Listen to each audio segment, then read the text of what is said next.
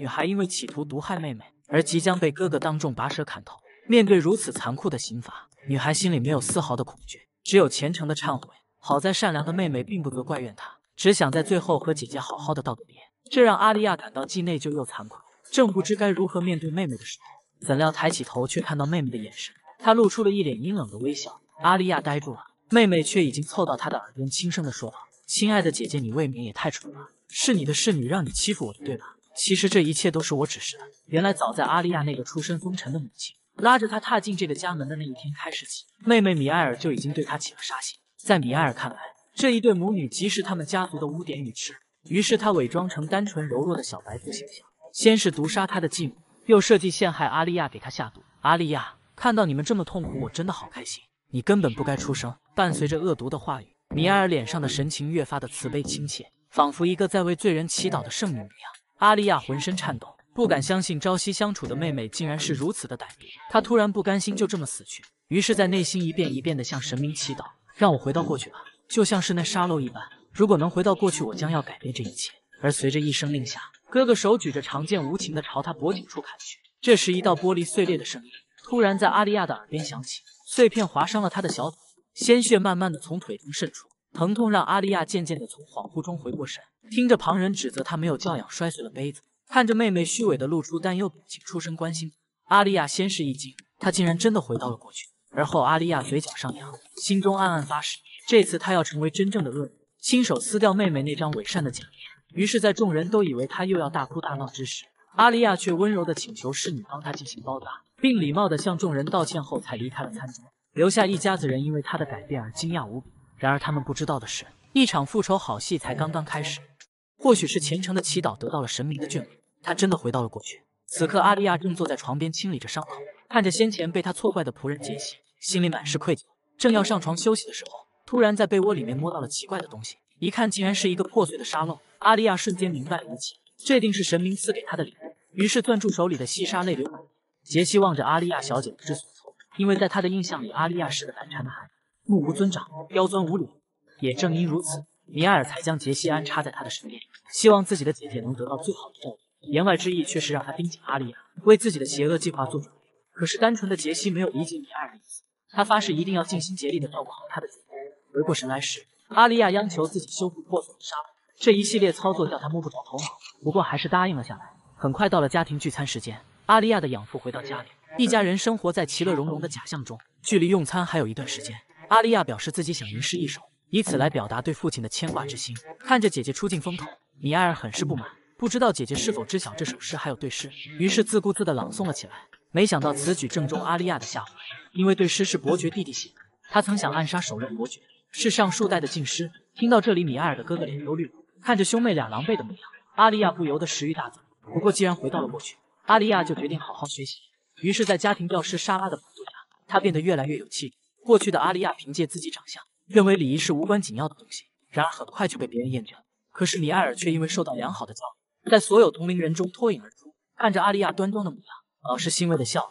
昨天用餐时，阿丽亚因为举止得当，得到了父母的赞赏，同时也引起了艾米尔的不满。他本想挖苦姐姐，却遭到了阿丽亚的反杀，场面一度尴尬不已。阿丽亚向老师诉说着昨晚的经历，突然话锋一转，恳求老师教她刺绣，想借机完成自己复仇大业的第一步。在绣完百合后，又恳求莎拉教她绣玫瑰，目的就是为了把米埃尔的未婚夫抢过来。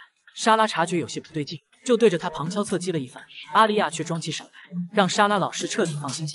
有多惨？自己的母亲被所谓的妹妹毒害，而自己也被妹妹陷害，即将被处死刑。他不甘心就这样死去。或许是虔诚的祈祷得到了神明的眷顾，他真的回到了过去。此刻回想起过去，姐姐阿利亚一事无成，而自己的妹妹米埃尔却总向父亲献殷勤，为此人们常常拿他俩做比较。自卑的阿丽亚竟潜移默化地接受了妹妹比她强的事实。餐桌上，父亲正为商业项目伤脑筋。妹妹米埃尔表示可以发展皮革行业，许多贵族小姐喜欢拿皮革当做蜂腰。父亲觉得可行，阿丽亚却不这么认为。经历了未来的事件的她明白，皮革由于保养工艺复杂，气味浓烈，所以始终没有在贵族圈内流行起来。一旁的女仆见阿丽亚想要发言，忍不住窃窃私语了起来。毕竟在他们的眼里，阿丽亚是个什么都不懂的傻白甜。可是她开口就震惊了在场的所有人。阿丽亚不仅比较了解皮草跟皮革的优劣势，还说出了皮草发展的前景。父亲细细思考以后。觉得阿丽亚说的十分有道理，转念又想，一个十多岁的小女孩怎么会懂这些于是追问阿丽亚是从哪里得到的消息。对于一个商人来说，情报的来源是最有价值的一件事。聪明的阿丽亚却说自己记不起来。父亲赶忙找人去确认事情的真假。一旁的米埃尔悻悻地向父亲递过去儿时的发卡，他明白姐姐又一次出尽风头。几天之后，父亲打算听从阿丽亚的建议入手批发。关于消息的真假已经得到了确认。就在父亲临走之时，阿丽亚将自己的刺绣送给父亲，看着精致的花纹，众人忍不住啧啧称奇。杀人诛心！阿丽亚转头询问米埃尔：“可爱的妹妹，需要我帮你做个手帕吗？”米埃尔深受打击，脸色难看极了。他开始学着姐姐刺起刺绣，可是请的老师还没有阿丽亚有水准。与此同时，阿丽亚的母亲找他聊起了天。说起来，米埃尔的心动对象要是把奥斯卡带回家，那将会享尽一切荣华富贵。渐渐的，母女俩的想法也连到了一起。阿丽亚定会将米埃尔亲手摧毁。哥哥去了学校，妹妹终日忙着学习刺绣。家庭教师莎拉找上门来，想邀请阿丽亚参加茶会，顺带炫耀一下自己可爱的学生。阿丽亚思索一会，随即答应了下来。阿丽亚回到了过去，定会将妹妹米埃尔的一切亲手摧毁。参加茶会，那就一定得有一件像样的衣服。可是阿丽亚的衣柜略显幼稚，于是灵机一动想到了米埃尔。阿丽亚赶忙让杰西将衣服换回去，然后一把火把衣柜点燃了。火势的蔓延引起仆人的围观，阿丽亚却装作一副可怜的样子，此举效果甚佳，把自己包装成了弱势的一方。看着被焚烧殆尽的衣服，母亲就让她跟米埃尔借一件。米埃尔虽然一万个不情愿，不过为了堵住流言蜚语，还是照做了。没想到阿丽亚有备而来，在衣柜里找到了去年奥斯卡送给她的生日礼物。米埃尔觉得惊慌不已，姐姐是怎么知道这件衣服的存在？要是不借给阿丽亚，会被人说小气。为了营造自己圣女的形象，米埃尔咬咬牙答应。侍女杰西说，之前的沙漏已经修复好。阿丽亚乘着马车来到镇上，她要取回那个修好沙漏。这条街是当时阿丽亚死亡的地方。想到这，她不禁心口一紧。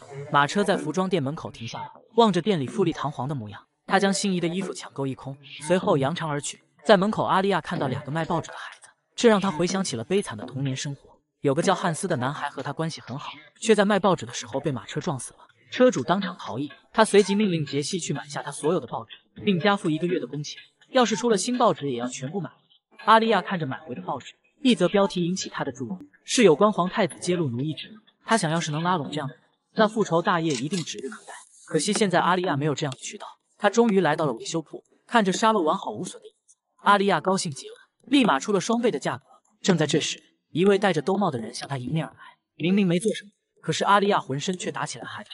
她感受到一股莫名其妙的恐惧力量在袭来，随后就看到老板桌子上摆着的赌场入场券。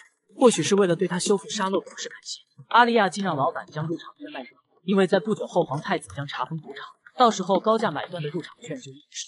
听到这里，老板一头雾水，可是戴着兜帽的人却迂回了。他三下五除二将宝位收拾后，抓住了阿利亚的手，询问他说的这话是什么意思。黑色的兜帽下是一张英俊的脸庞，清晰可见。阿利亚看着他出了神，熟悉的双眸让他浮想联翩。我好像在哪见过这个男人。男人见他默不作声，于是准备动起手来。临死前带着不甘回到了过去，现在的他正走在复仇的道路上。眼前的男人让他浮想联翩，我好像在哪见过他。男人见他默不作声，于是准备动起手来。阿利亚胡乱编了个理由，说是卢博尔自觉亏损严重，打算将赌场卖了跑路。由于只是传闻，所以男子无法辨认事情的真伪，只能将阿利亚放走了。看着他消失的背影，男子的随从将阿利亚错当成了艾米尔。是米埃尔吗？男子默默说道。名字的含义是蜜蜂，但很不合适眼前这位大胆。总觉得如此眼熟，我是不是在哪见过他？一旁的随从表示可以深入调查，男子拒绝了，毕竟还有计划要执行。当他再次细细回想起阿丽亚的一切时，有一股余温在他的手上久久没有散去。与此同时，阿丽亚回到了家中，他对于两个随从的业务能力满意不已，紧接着就对俩人冷嘲热讽起来。不过这是个拉拢人心的好机会，于是就故意让俩人为他端茶倒水，没想到效果甚佳，很快就收拢了两个忠心耿耿的仆人。不过此时的阿丽亚还是心有余悸。想到那位令人毛骨悚然的美男子，默念着还是不要再见到文明。另一边，美男子开始召集人马，已经行动了起来。他们决定今晚就攻占赌场。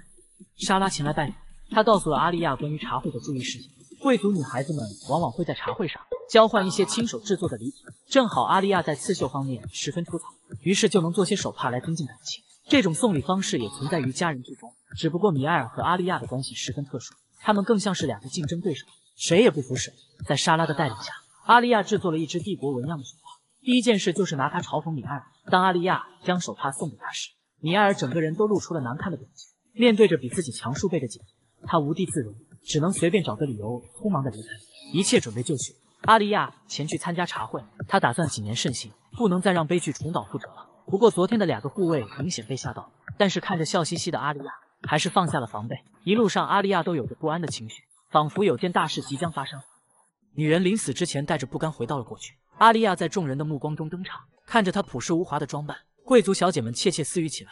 貌似阿丽亚并没有传闻中那么没有教养跟礼貌，反而惹人喜爱。悲惨的遭遇使人同情。很快，阿丽亚就树立了可怜人人设，还把米埃尔说成了十恶不赦的形象。随后又拿出了亲手编织的手帕送给众人，将在场的贵族小姐哄得团团转，纷纷提出要带她出去游玩。突然有人发出了反对的声音：最近卢普尔自觉参与了赌场，还有人口买卖，外面很不太平。一向谨慎的皇太子也让他溜走了。阿丽亚听后心里一惊，难道是自己的所作影响了皇太子的计划？然而跟自己的复仇并没关系，但是也不能置之不理。离开茶会后，他急忙派自己的手下约翰前去调查。可是约翰的好友并未打探到皇太子的行踪，要是两手空空的回去，定会遭到阿丽亚小姐的辱骂。走投无路之下，约翰进入了维修店打听下落。在和老板寒暄几句后，他竟然昏倒过去。原来是老板在水里放入了迷药。黑暗中，那位美男子现身了，身旁站着的还有约翰的好友。难道美男子就是皇太子吗？他们误以为约翰和卢普尔子爵有联系，于是派人暗中调查。突然门外传来声音，他们随即行动了起来。第二天，约翰无功而返。不出所料，阿丽亚气得脸都黑了。就在昨天，卢普尔子爵在赌场附近的旅馆被捕。他在赌场附近转悠那么久，竟然一无所获，真是没用的东西。阿丽亚暗暗想到，既然一切都回归正轨，那么他也重新开始了自己的计划。阿利亚向母亲请愿，希望学习其他知识，请到其他的家庭教师。他清楚的知道，在未来会有无数的人献殷勤，但当听到自己被家族抛弃后，无一例外的全部离去。此刻正是拓宽人脉的好时机。于是家庭教师们相继来访，只不过他们阿谀奉承的样子让阿利亚倍感压力。不过这样也好，对他上课有很大的帮助。而且他的最终目标是夺走奥斯卡。想到米埃尔痛不欲生的模样，阿利亚不禁笑出了声。莎拉看他高兴的模样，连忙问他发生了什么。阿丽亚就将最近发生的事情一五一十的告诉了他。虽然自己的教师不止一个。但是最喜欢的还是你。莎拉听后高兴极了。殊不知，一个伟大的计划在阿丽亚的脑海中悄悄诞生了。这个女人被妹妹陷害，临死前因不甘心，时光沙漏让她回到了过去，于是展开了疯狂的复仇之路。妹妹米埃尔眉头紧锁，看来在刺绣方面始终敌不过姐姐。就在阿丽亚开心之余，外面熙熙攘攘的传来声响，她连忙让杰西前去查看，自己则是躺在了床上睡着了。在醒来时，发现肚子饿极了，于是他推开门走下了楼梯，发现外面静得出奇。不等杰西回应。他就在客厅里看到了访客的身影，那正是妹妹心仪的男人奥斯卡。阿利亚明白复仇的时刻到了，于是上楼换衣服。米埃尔发现姐姐看到了奥斯卡的神色，立马慌张了起来，连忙招呼他前去用膳。阿利亚则是不慌不慢地打扮了，在奥斯卡的惊讶中闪亮登场。对于这样的不速之客，妹妹感受到了前所未有的危机感。阿利亚的美貌竟然让哥哥卡因都脸红，心跳加速。很快，奥斯卡就跟他聊了起来，把米埃尔晾在了一边。眼看自己的风头被姐姐压了下去。米埃尔连忙接过话茬，将奥斯卡送给他的衣服夸耀了一番。哥哥卡因连在旁边助攻，本想让奥斯卡跟米埃尔一同购物，没想到弄巧成拙，竟然被奥斯卡撮合到了一起去买衣服。兄妹俩急了，米埃尔连忙说道：“怎么能把客人一个人留下？”谁知道奥斯卡天真的说：“这不是还有阿丽亚小姐吗？”看着身旁的姐姐，米埃尔气得直哆嗦。阿丽亚一看机会来了，立马招呼人安排车辆将兄妹俩人送走了，自己则留下来帮奥斯卡安排休息。回到房间后的阿丽亚兴奋地跳起了舞，一旁的杰西有些无语，连忙问他收着的手帕应该怎么办。阿丽亚明白妹妹可能也会送给奥斯卡手帕，于是就将它随身携带，以防万一。看着远去兄妹的背影，阿丽亚暗自窃喜，翻开书本预习这下节课的内容，不了却被贵族的历史恶心到了，于是就去花园散心。就在他要浇房门上的花朵时，奥斯卡推门进来了，水不偏不倚地浇在了他的头上。阿丽亚连忙道歉，没想到奥斯卡不以为然，竟然上前抓住了他的双手。此时的阿丽亚已被焦虑冲昏了头脑，她不能犯下任何一次失误，否则将会搞砸自己的复仇计划。想着想着，竟然哭了起来。奥斯卡见状，连忙上前安抚她，这一举动也暴露了他的性格。他是个心软的男人，见不得女人哭泣。于是阿丽亚利用这一点，顺水推舟的向他递上随身携带的那条手帕。贵族奥斯卡是个心软的男人，女主阿丽亚利用这一点，顺水推舟的向他递上随身携带的手帕。奥斯卡接过就用了起来，可当他看到手帕上的花纹时，不免有些惊讶，这不是我的家族徽章吗？阿丽亚连忙解释道：“这是因为弗雷德里克家族的徽章很好看，你又恰巧是我接待的第一个客人，所以这一切都像是命中注定的巧合。”奥斯卡沉思了一会，将手帕带走了。阿丽亚高兴的笑了，连忙吩咐杰西准备洗澡水。在互相道别后，奥斯卡心里有了不一样的情愫，似乎对这个美丽的少女颇有好感。很快，晚饭时间到了，卡因和米埃尔外出回来，他们给奥斯卡准备了礼物，没想到是三个笔尖。奥斯卡叹了口气，显然对这样的礼物没有兴趣，不过还是礼貌的道了谢。阿利亚观察着三个人的举动，本想借着手帕的事情搅局，但还是忍住了。取而代之的是，摆出了一副可怜的样子。奥斯卡立即就注意到了，连忙关切地询问他的状况。米埃尔看到后，气得脸都绿了，手里的叉子都掉在了地上。第二天，奥斯卡和卡因回到了学院。阿利亚的母亲听闻消息，赶紧从邻国赶了回来。不过奥斯卡已经离去，他显得有些失望。好在是阿利亚把握住了机会，将奥斯卡的心牢牢地抓住了。没过多久，家里收到了他的回礼。在所有人的议论中，管家宣布，还有一份礼物是属于阿利亚小姐的。米埃尔对于发生的一切惊呆了。阿利亚连忙补刀说道：“或许是因为他收下了我的手帕吧。”米埃尔难看极了，希望借着信件挽回脸面，但是姐姐阿利亚油嘴滑舌地推脱着，怎么也不肯读出信的内容。于是就吩咐米埃尔的侍女艾玛拆开自己的礼物，映入众人眼帘的是一套衣服。可是阿利亚却不以为然，只是拿走里面的发卡就匆匆而去。很快就来到了茶会场所，他又递上了为贵族小姐们缝制的刺绣，引得众人一阵夸奖。在假意的寒暄以后，茶会告一段落。正当阿利亚坐车想要离去时，他猛然注意到了陌生的车夫，于是连忙派人查明身份，没想到是府上的老车夫，现在就快要退休了。阿利亚怒气冲冲地质问道：“为什么没有提前向我汇报？”要是我就这么直接上马车的话，阿利亚将剩下的话咽了回去。他知道刚才自己要是上车，估计这会儿已经死了。看来米埃尔是故意将蠢人安插在自己身边，小小的年纪就有如此心机，真不愧是恶女艾米尔。这个女人被妹妹陷害，临死前因为不甘时光沙漏，让她回到了过去。于是，一场复仇盛宴就此开展。阿利亚看着眼前的车夫，心存芥蒂。经历过被妹妹米埃尔毒害的她，必须要打起十二分精神去做应对。她让车夫一个人先回去，听着马车发出嘈杂的声音。他断定其中必然有诈，不用说也知道是妹妹米二干的。他连忙让一个随从去寻找新的马车，随从嘟嘟囔囔的走了。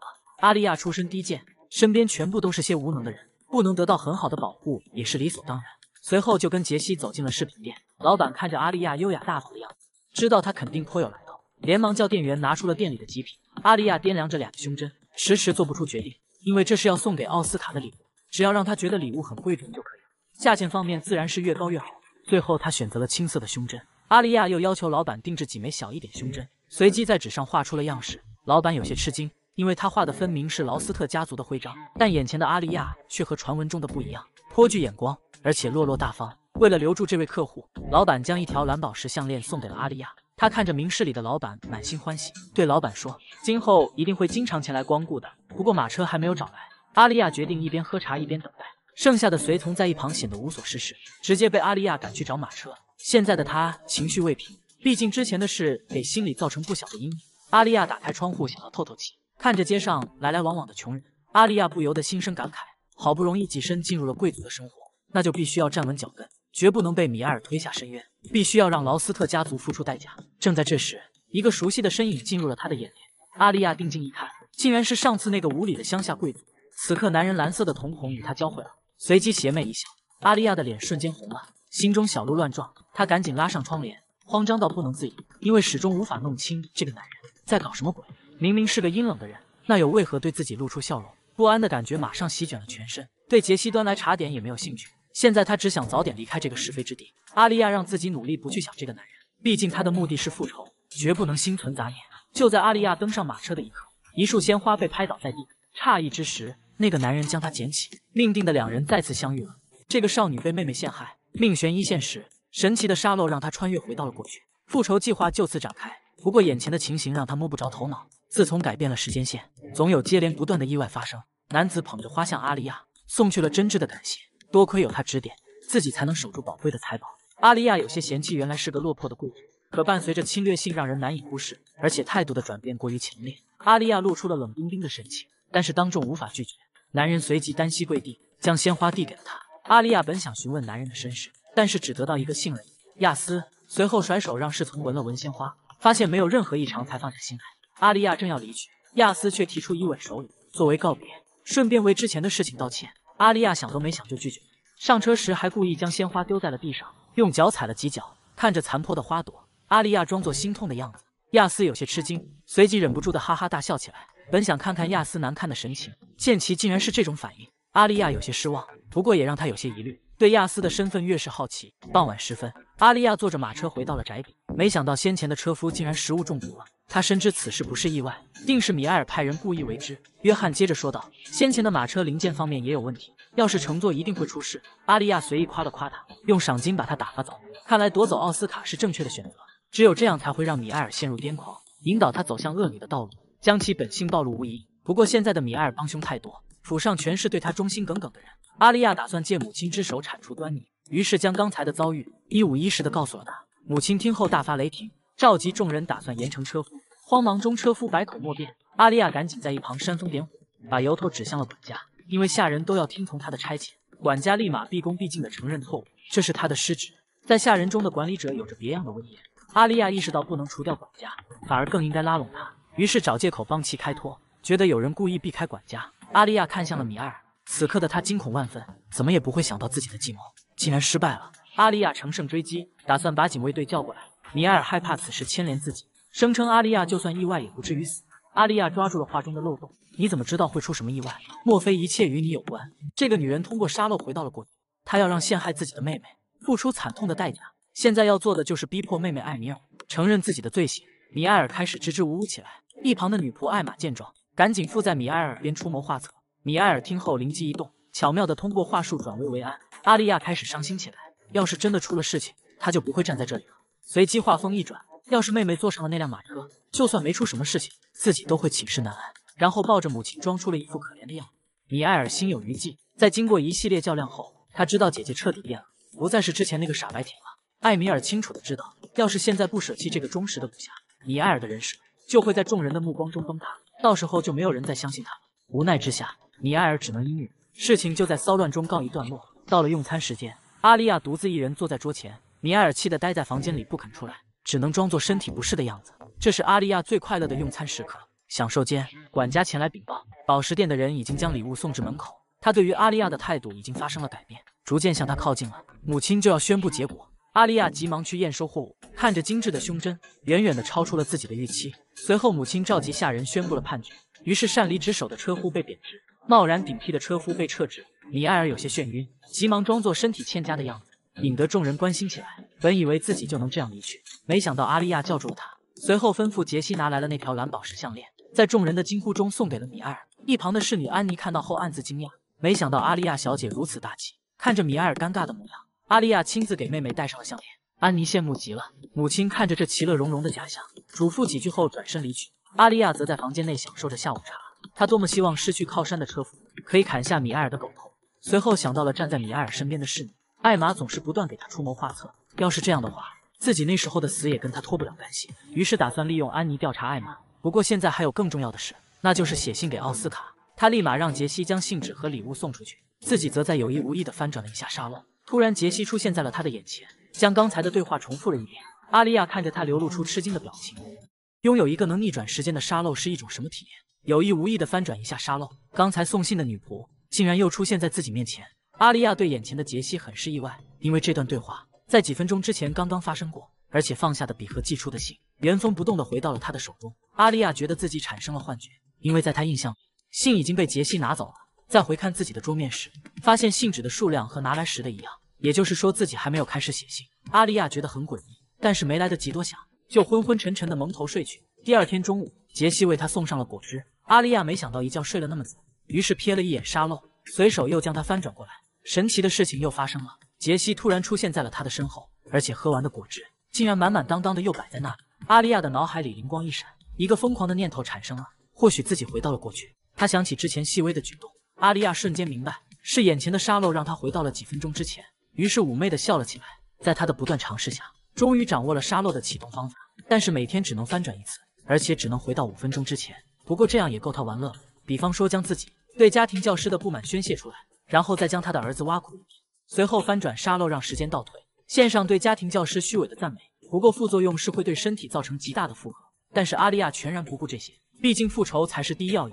于是就开始了作死之旅，戏弄起了米埃尔，将水倒在了他的头上，又故意将他绊倒。米埃尔的呼救声就这样在宅邸此起彼伏，反正之后也能用沙漏将功补过，这为他无聊的生活增添了几分乐趣。但是奥斯卡却没有给他回应，整整两周过去了，却渺无音讯。阿利亚想到了当时随从说的话，奥斯卡虽然收下了礼物，但在聪明之下没有任何口型。或许是因为临近期末需要考试吧。看在随从辛劳奔波的份上，阿利亚随口慰问了几句。毕竟收下礼物才是最重要的。虽说信中内容可能会使他拒绝，不过积累缘分也算是不错的方案。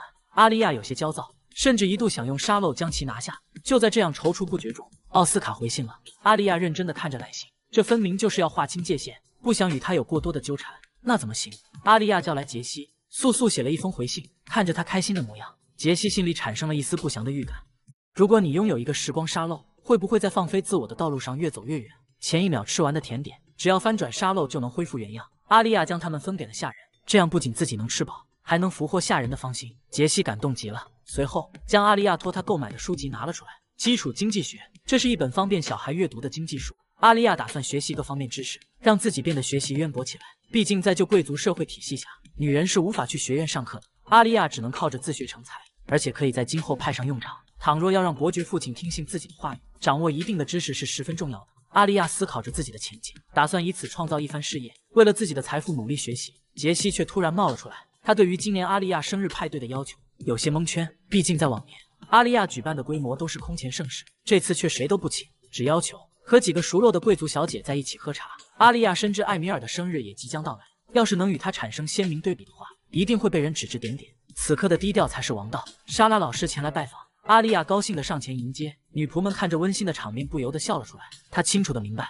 莎拉将会成为自己坚强的后盾，而她此次拜访是来询问阿利亚对于生日礼物的喜好，但阿利亚却偏偏想要手帕。莎拉一听来劲了，拿出了满满的一箱，可她要的手帕却是莎拉亲手制作的，而且想要和她一人一块，如同姐妹那样。莎拉老师感动极了，上前握紧了阿丽亚的手，表示自己一定会尽心尽力的去绣制的。阿丽亚有些无语，因为她知道接下来发生的事情。莎拉将在社交界中认识侯爵大人，到时候俩人就会坠入爱河，好友什么的根本无暇顾及。可是莎拉却对社交圈不感兴趣，神色也逐渐暗淡下来。阿丽亚见状，转移了话题，向其询问在成年后想做的第一件事。莎拉的回复出乎意料，她竟然是因为阿丽亚选择了当教师，与孩子相伴着一起成长，是莎拉一生中最幸运的事情。阿丽亚有些吃惊，没想到莎拉是真心喜欢自己的，这样的发展形式简直是妙不可言。等到莎拉成为侯爵夫人后，阿丽亚就会站在她的身边。到时候必将光芒四射，让人难以忽视。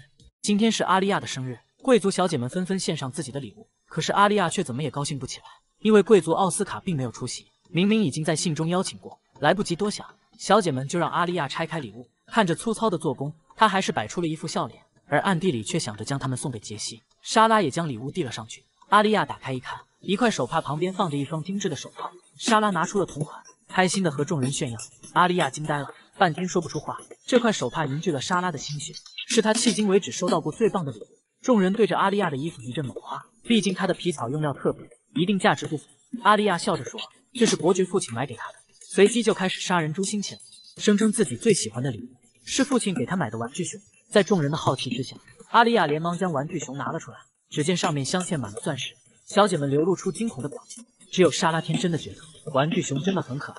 杰西将茶点端了进来。就当生日宴会即将开始时，米埃尔闯了进来，当着所有人的面询问为什么不邀请自己参加生日派对。阿丽亚急忙起身，以米埃尔身体不适为由，维护了自己的立场。米埃尔轻蔑地笑着，让艾玛递给了他一束鲜花，然后在假惺惺的祝福中扬长而去，徒留阿丽亚一个人待在原地。姐姐居然没有邀请妹妹参加聚会，这一定会被说闲话。她开始慌了。沙漏留在了楼上，不知道现在跑回去拿还来的来不。阿丽亚突然清醒过来，这点小事没有必要大惊小怪。于是将艾米尔说成了一个柔弱的人，言语中透露着对他家庭现状的不满。毕竟是自己和母亲插足进来，或许米埃尔至今无法接受重组家庭吧。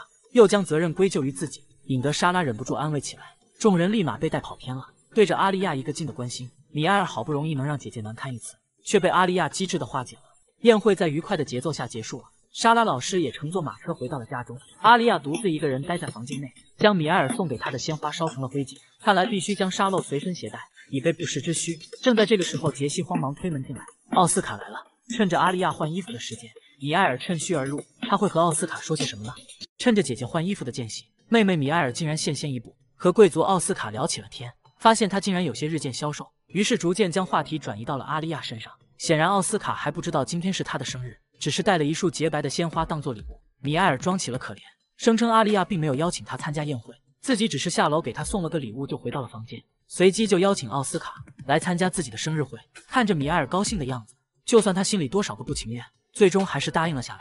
阿丽亚在门后偷听，却没有听到完整的对话。米埃尔看着他推门过来，急忙起身将主场转让给了姐姐，随后在亲密的微笑中擦肩而过。阿丽亚有些懊悔，竟然会在这时被人趁虚而入，自己又不知道他们聊天的内容。不过还是故作镇定的和奥斯卡寒暄起来。阿丽亚展示着她送的发饰，将奥斯卡迷得神魂颠倒，于是反问道：“自己送给他的胸针为什么不戴？”奥斯卡刚想开口，阿丽亚就接过话茬，谎称是自己第一次给人准备礼物，希望奥斯卡不要拒绝他的好意。这个男人再次心软了，原本是想把胸针还回来的，却阴差阳错的被阿丽亚亲自戴在了身上，演变成这样的结果，不知道是喜还是忧。不过值得肯定的一点就是，奥斯卡的内心已经产生了动摇。他将这束花朵当成了礼物送给了阿丽亚，不过狡猾的阿丽亚怎会就此善罢甘休？他恳请奥斯卡做他的笔友，毕竟自己孤单寂寞，还没什么朋友。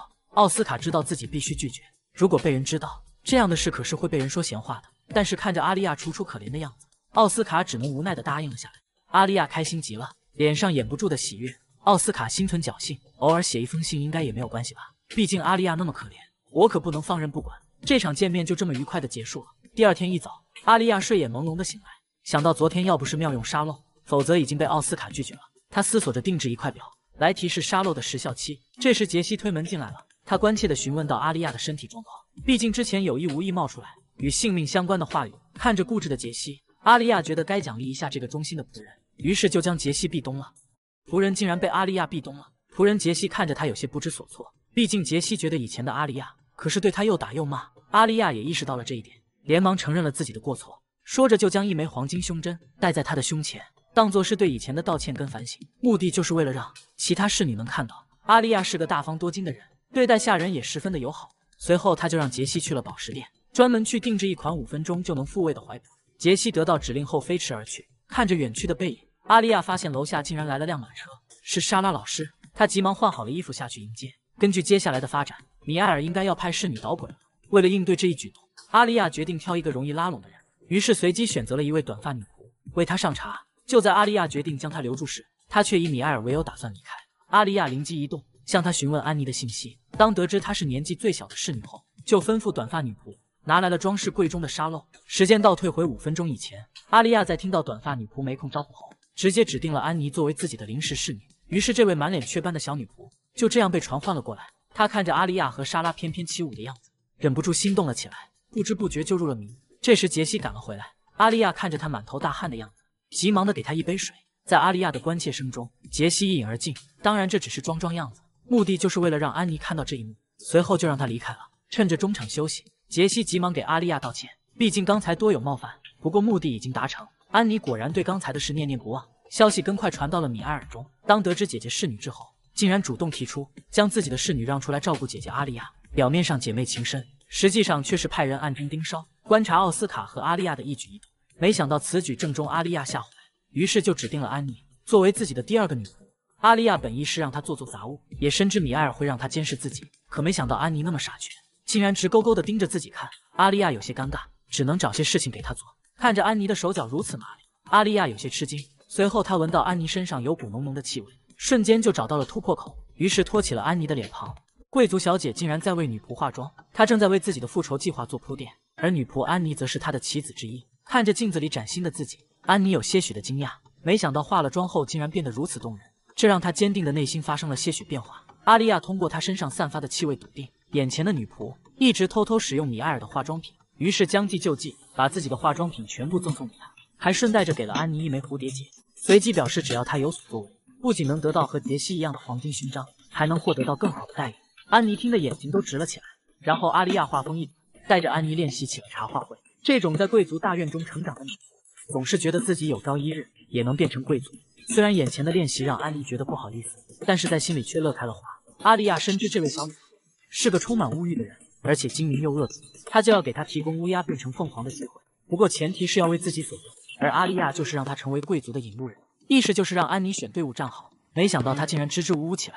看来，相比较阿丽亚给他的好处，米埃尔的威慑力让他不敢允诺，这是意料之中的事情。阿丽亚将他支走后，静静地躺在床上，知道现在的局势不管如何，自己都赢不了艾米尔。现在要做的就是等待时机的成熟。又过去了一段日子，阿丽亚望着楼底下熙熙攘攘的人群，感到麻木不仁。今天是米埃尔的生日，他们都是来送礼物的，一车一车的礼物代表着贵族的虚荣。可是阿丽亚没有心思在意这些，他唯一关心的就是成为自己笔友的奥斯卡，竟然没有给他回信。正当阿丽亚心烦意乱之时，有一辆马车停在了楼下，原以为是奥斯卡，没想到是自己常年在外的父亲。他竟然特意赶回来给艾米尔过生日。阿丽亚不禁想起来了母亲和自己惨死的场面，他定会让这样温馨的场面成为大仇得报以后的美梦。阿丽亚的目标不仅是米埃尔，更是整个劳斯特家族。正当他打算用沙漏在生日派对上玩耍时，一个名为莱恩的人出现了。看着这位新人物的登场，阿丽亚变得不安起来，自己又在冥冥之中促成了什么事情？这个女人有着贵族的血统。每逢生日都会收到各种昂贵的礼物，然而纯洁的外表下竟然镶嵌着一颗邪恶的内心。阿丽亚看着莱恩送的礼物有些无语，不知道他的主人是谁，初次造访竟然赠送如此昂贵的配饰。看着两人亲密的举动，阿丽亚感到崩溃。难道米埃尔的魅力就那么大吗？看来时光沙漏产生的变数是不可避免。今天是米埃尔的生日，他穿了一条奥斯卡送给他的连衣裙。巧的是，阿丽亚也收到过同款，或许是出于礼貌，阿丽亚跟父亲打个招呼，这一举动也引起了莱恩的注意。他夸赞着阿丽亚的美貌，随即转过头去接着和米埃尔聊天。阿丽亚有些不知所措，这是她第一次在颜值方面败下阵来。不过到底是格局大了，她意识到此人只是个讨好伯爵的败类，正打算转身离去，没想到父亲却叫住了他，并且掏出了一个精致的珠宝。要知道，在此之前，只有米埃尔才能收到这样的礼物。看来自己的努力是有用的。那么当下的事情就是要米埃尔难堪。阿丽亚立即换了套衣服，随后的出现在了他的视野里，看着姐姐不怀好意的样子，米埃尔有些心有余悸。很快就发现了端倪，阿丽亚竟然穿着和自己同款的衣服，她的脸色难看极了。来宾立马议论纷纷起来。刚刚还在炫耀衣服的米埃尔，此刻尴尬到了极点。不过很明显，对于传闻中阿丽亚恶女的行为，大家都嗤之以鼻，想要借机吐槽他低俗的举止。但是现在的阿丽亚竟然无可挑剔，无论是仪表还是礼仪气度，都远超他们之上，这不禁让众人怀疑传闻的真假。正当阿丽亚得意之时，米埃尔一脸欣喜的被叫住了，原来是哥哥卡因，真是虚惊一场。可是奥斯卡却出现在了卡因身边，阿丽亚诧异极了。在他的印象里，奥斯卡从未参加过艾米尔的生日，为何对自己却连封信也不？难道自己的推动使事态朝着意想不到的地方发展？卡因又是怎么回事？竟然色眯眯的盯着阿丽亚看，奥斯卡的脸竟然也红了。久经沙场的阿丽亚瞬间明白，两人都对自己产生了好感。奥斯卡也受不了愧疚之心，前来参加米埃尔的生日。阿丽亚连忙上前摇醒两人，然后装作伤心的样子，表示自己不该插足两人的感情。随后就跑上楼去，这招果然管用。在米埃尔鄙夷的眼神中，奥斯卡追上了楼。这个男人竟然抛下了未婚妻，转头来到二楼寻找他的姐姐。难道一段不伦恋会就此开始吗？阿丽亚早已恭候多时了，就连茶就换了三次，终于将奥斯卡盼到了。看着他通红的脸蛋，阿丽亚有一种说不出来的快感。她明白，只要微微的推波助澜，就能一举拿下奥斯卡的心。奥斯卡也纳闷，明明心有所属，却对眼前的阿丽亚百般思念。趁着难得的机会，两人聊起天来。阿丽亚似乎在向他诉苦，直言自己一个朋友都没有，十分忌讳派对的场景。奥斯卡就这样被带进了圈套，竟然表现出对米埃尔的不满，好像在说都是因为他，我才不能跟阿丽亚讲话。可自己明明只是个笔友啊！本来打算早点回家，却被阿丽亚留下来吃了晚饭。奥斯卡内心的煎熬被他看得一清二楚，于是再次强调俩人只是朋友。既然是朋友之间的交谈，又会出什么事呢？很快到了晚饭时间，没想到莱恩也坐在了饭桌上，这引起阿丽亚的注意。看来这位侍从是想帮主人牵线搭桥，于是开始分析起他的身份来。想着想着，奥斯卡的目光突然跟他交汇了。看着阿丽亚插不上嘴的模样，他再一次同情心泛滥。而卡因竟然在暗中观察着。此时的艾米尔正在为奥斯卡送的礼物报喜，本以为能得到心上人热烈的回应，没想到奥斯卡却望着阿利亚出了神。米埃尔将这一幕看在眼里，随后就掏出了自己缝制的手帕，将它送给了父亲。阿利亚看着这位外表单纯的木母，想着事情没有那么简单，不过还是配合的夸赞着米尔。谁知道米埃尔竟然蹬鼻子上脸，叫艾玛掏出了为大家准备好的手帕，唯独不给阿利亚准备，想借此机会叫她难堪。莱恩有些看不下去，赶忙将收到的手帕递给他，没想到阿利亚却微微一笑，竟然巧妙的借机化解了米埃尔的计划。米埃尔的计谋再次失败。又过了些许日子，阿利亚想弄清楚手帕的来历，就找来了安妮为她保养皮肤，并借着带她参加聚会的由头，询问米埃尔手帕的来历。果不其然，安妮顺口就将米埃尔请老师的事情说了出来。阿利亚若有所思，要知道这些事情在以前从未发生过，而米埃尔并未参与刺绣，只是随手补了几针。阿利亚明白时机成熟，就将专属的黄金徽章赠予安妮。从此刻开始，米埃尔忠实的仆人逐渐减少。这个男人的主人看上贵族的小姐，于是三天两头大包小包的跑到府上，就为了吸引他的眼球。不过米埃尔却有些踌躇不决，毕竟自己已经心有所属了。母亲总是有些担心，于是再次询问了莱恩主人的信息。然而他还是恕难奉告，并表示自己的主人偶遇了米尔，而且产生了好感。阿利亚在一旁仔细听着，想借用沙漏打探一下莱恩的底细，于是开始推理了起来。他认为莱恩的主人一定是国外的贵族，否则就是皇太子了。莱恩一听有些吃惊，没想到阿利亚的思维竟然如此缜密。不过在他的逼问下，还是没有说出任何有用的信息。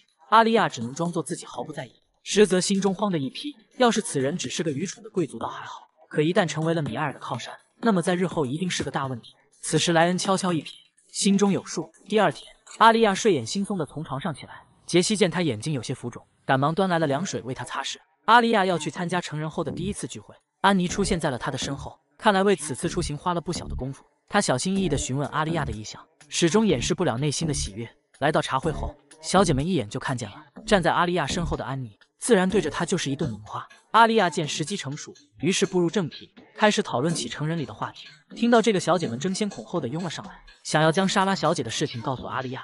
正说话时，莎拉捧着一束鲜花姗姗来迟，原来是侯爵大人派来了使者，于是耽误了时间。小姐们急忙追问莎拉成人礼的下文，莎拉有些羞涩，说当时自己的手帕掉在了地上，伯爵大人捡起来后细细的端详着，突然提出想要这枚手帕，于是莎拉害羞的给他了，随后还硬要跳舞。没想到表面木讷的侯爵，心思竟然如此细腻。阿丽亚听着莎拉的叙述。对此事毫不意外，因为他知道莎拉必定会和伯爵在一起的。然后话锋一转，希望莎拉抛出自身条件，仅仅是因为爱或是因为喜欢再跟对方在一起。毕竟自己只是希望莎拉得到幸福。莎拉听后感动极了，在场所有的人都为此感到高兴，除了呆若木鸡的安妮。她对一介平民嫁入豪门的事情倍感意外。没错，只要自己有这样的机会，就一定可以攀上贵族的。阿丽亚清楚的知道，只有自己才能帮着她达到这层目的，而这也是带安妮参加聚会的。那么安妮又会如何打算呢？这个刚成年的小姑娘，竟然在教自己的家庭教师谈恋爱，看似是个初出茅庐的新手，实际是个经历了无数男人追捧的美女。莎拉幻想着阿丽亚描述的场景，既高兴又害羞，打算一举拿下侯爵大人。阿丽亚出谋划策，让莎拉送给她一副手套，这样侯爵大人一定会记忆犹新的。莎拉夸赞着阿丽亚的好主意，事实上，这些都是她征服了无数男人的经验。正当莎拉想要回去时，突然发现门口有着一辆新来的马车，定睛一看，原来是莱恩。他彬彬有礼的上来询问。想要找米埃尔小姐喝茶，顺便说几句话。阿丽亚以未经监护人的同意，不能让莱恩与未婚小姐喝茶为由，把他拒之门外。本意其实是看不惯莱恩一直给米埃尔送礼物，所以他是不会让两人单独见面的。莎拉发现阿利亚的脸色有些不好，于是激起了她的保护欲，于是提议四人一起喝茶。莱恩默许了，随后递上一份为阿利亚准备的礼物，又是那束郁金香。阿利亚狡猾的笑了，根据花的色泽，立马就断定莱恩的主人就是帝国的贵族，这让莱恩震惊不已。三人坐在一起喝茶，阿利亚满腹疑虑，难道他的主人真的是皇太子？于是他让安妮拿来了沙漏，开始盘问眼前的莱恩，想知道他三天两头来府邸的目的。原来他的主人看中米埃尔搜集信息的能力，和侯爵合作的皮草生意，就是听取他的建议。阿利亚瞳孔震惊，这可是我出的主意，难道我与父亲之间的关系就从未得到改善吗？竟然将功劳归咎于自己的亲生女儿！阿利亚气得发抖。莱恩紧接着说道：“米埃尔貌似并没有传闻中的犀利。”阿利亚冷冷地讽刺着米埃尔。随后再也克制不住自己的内心，当众发飙了。这一举动明显把莎拉吓得半死。阿利亚也意识到了自己的失态，连忙翻转沙漏，让一切都恢复原样。她告诉自己一定要冷静。然后在漫长的等待中，米埃尔姗姗来迟。经过一番简单的寒暄后，莱恩立马向他询问关于赌场的看法。阿丽亚知道这是试探性的问题，可没想到米埃尔竟然什么都不会。当听到他说要在赌场门口为皇太子建雕像时，阿丽亚忍不住笑出了声。莱恩有些尴尬，随即试问阿丽亚有何高见。谁知道阿丽亚不仅说的头头是道，还暗讽了什么都不知道的米埃尔，这让一旁的莱恩看呆了。米埃尔也脸色难看的不知所措。这个男人为了赚钱，竟然三番五次来到府邸。他打算和伯爵大人讨论生意上的事情，顺带也问了伯爵亲生女儿米埃尔的意见。没想到他却天真的认为轻薄的衣服会是下个阶段的流行商品。阿丽亚听后笑得发抖，看来这个点子是谁都会觉得好笑。为了缓解尴尬的气氛，父亲转而询问阿丽亚，幻想着自己聪明的养女能给自己想要的答案。可这一次，阿丽亚却留了一手，竟然对米埃尔的提议表示赞同。他可不想让这两个可怜的家伙坐享其成。莱恩和父亲因阿丽亚没上钩略带失望。阿丽亚觉得，与其让他们坐享其成，还不如专心看书提升自己。这时，安妮闯了进来，她想请假去探亲。阿丽亚不加思索地答应了。很快就到了庆典当日，看着安妮朴素的样子，阿丽亚慌了，急忙拿了几件精致的衣服，只有这样才能让其他女仆羡慕。安妮穿好后，高高兴兴地走了。正当阿丽亚想安安静静地看书时，她注意到了站在身后的杰西，在一番询问下，杰西也想去参加庆典，不过因为工作的关系，所以不好意思让阿丽亚清楚申请。谁知阿丽亚头也不回的批准。杰西有些担心，他灵机一动，提议跟阿丽亚一起去庆典。三人就这样漫步在大街上。阿丽亚回想着过去的种种，还是有些心有余悸。不过好在一切都不会再度重演。他买了俩串烤肉分给了俩人，坐在喷泉的旁边听人歌唱。冬去秋来，复仇计划已经完成了铺垫。不过为了毁掉别人的人生而活，真的会幸福吗？阿丽亚不禁陷入了沉思。亚斯在人群中瞧见了他，急忙上前搭话。他礼貌地寒暄着，没想到却遭到了阿丽亚的白眼。他本想装作无视，但是一旁的男人却有着一种致命的吸引力，这迫使阿丽亚不得不将对话进行下去。此时，杰西和侍从也发现了，他们打算拔刀相向。亚斯的同伙突然窜出来，对着他耳语了几句，可是亚斯却将他支开，看来是想和阿丽亚多聊一会儿。于是借机询问阿丽亚的穿着为何如此朴素，言外之意就是我送的衣服你为什么不穿？可他哪里知道？自己在最开始就弄错了送礼的对象，阿丽亚也觉得他莫名其妙，想趁此机会开溜。不远处却突然传来了爆炸声，情急之下，亚斯抓着阿丽亚的手，朝着人群的反方向跑去。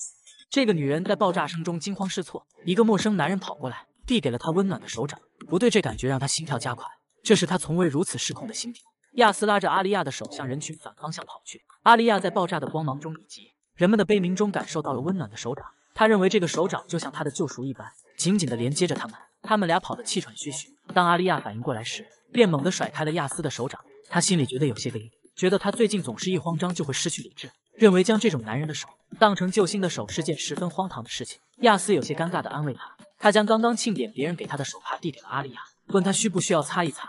阿丽亚拒绝了，心想这个人是不是想看他出丑啊？他缓过神来，发现自己跑得挺远，询问这是哪里。亚斯明媚的笑容对他说。只是带着他跑了出来，自己也不知道这是哪里。他将手帕放在了他的手上。阿丽亚真的很抓狂，觉得自己的不理智真的令他太失败了。怎么可以在混乱的时候给这种人机会？他左顾右盼了一下，发现这里无论怎么看都是他不熟悉的地方。他突然害怕起来，是不是跑到城市外围来了呀？他想赶紧回去。在他坚持不下去之前，随着他准备离开的脚步声，亚斯问他要去哪，他表示了他想回去，却也无奈找不到回去的路。亚斯提议去那边看看，因为那边夜空比较明亮。阿利亚有些窘迫地停下了脚步，随着他一同走去。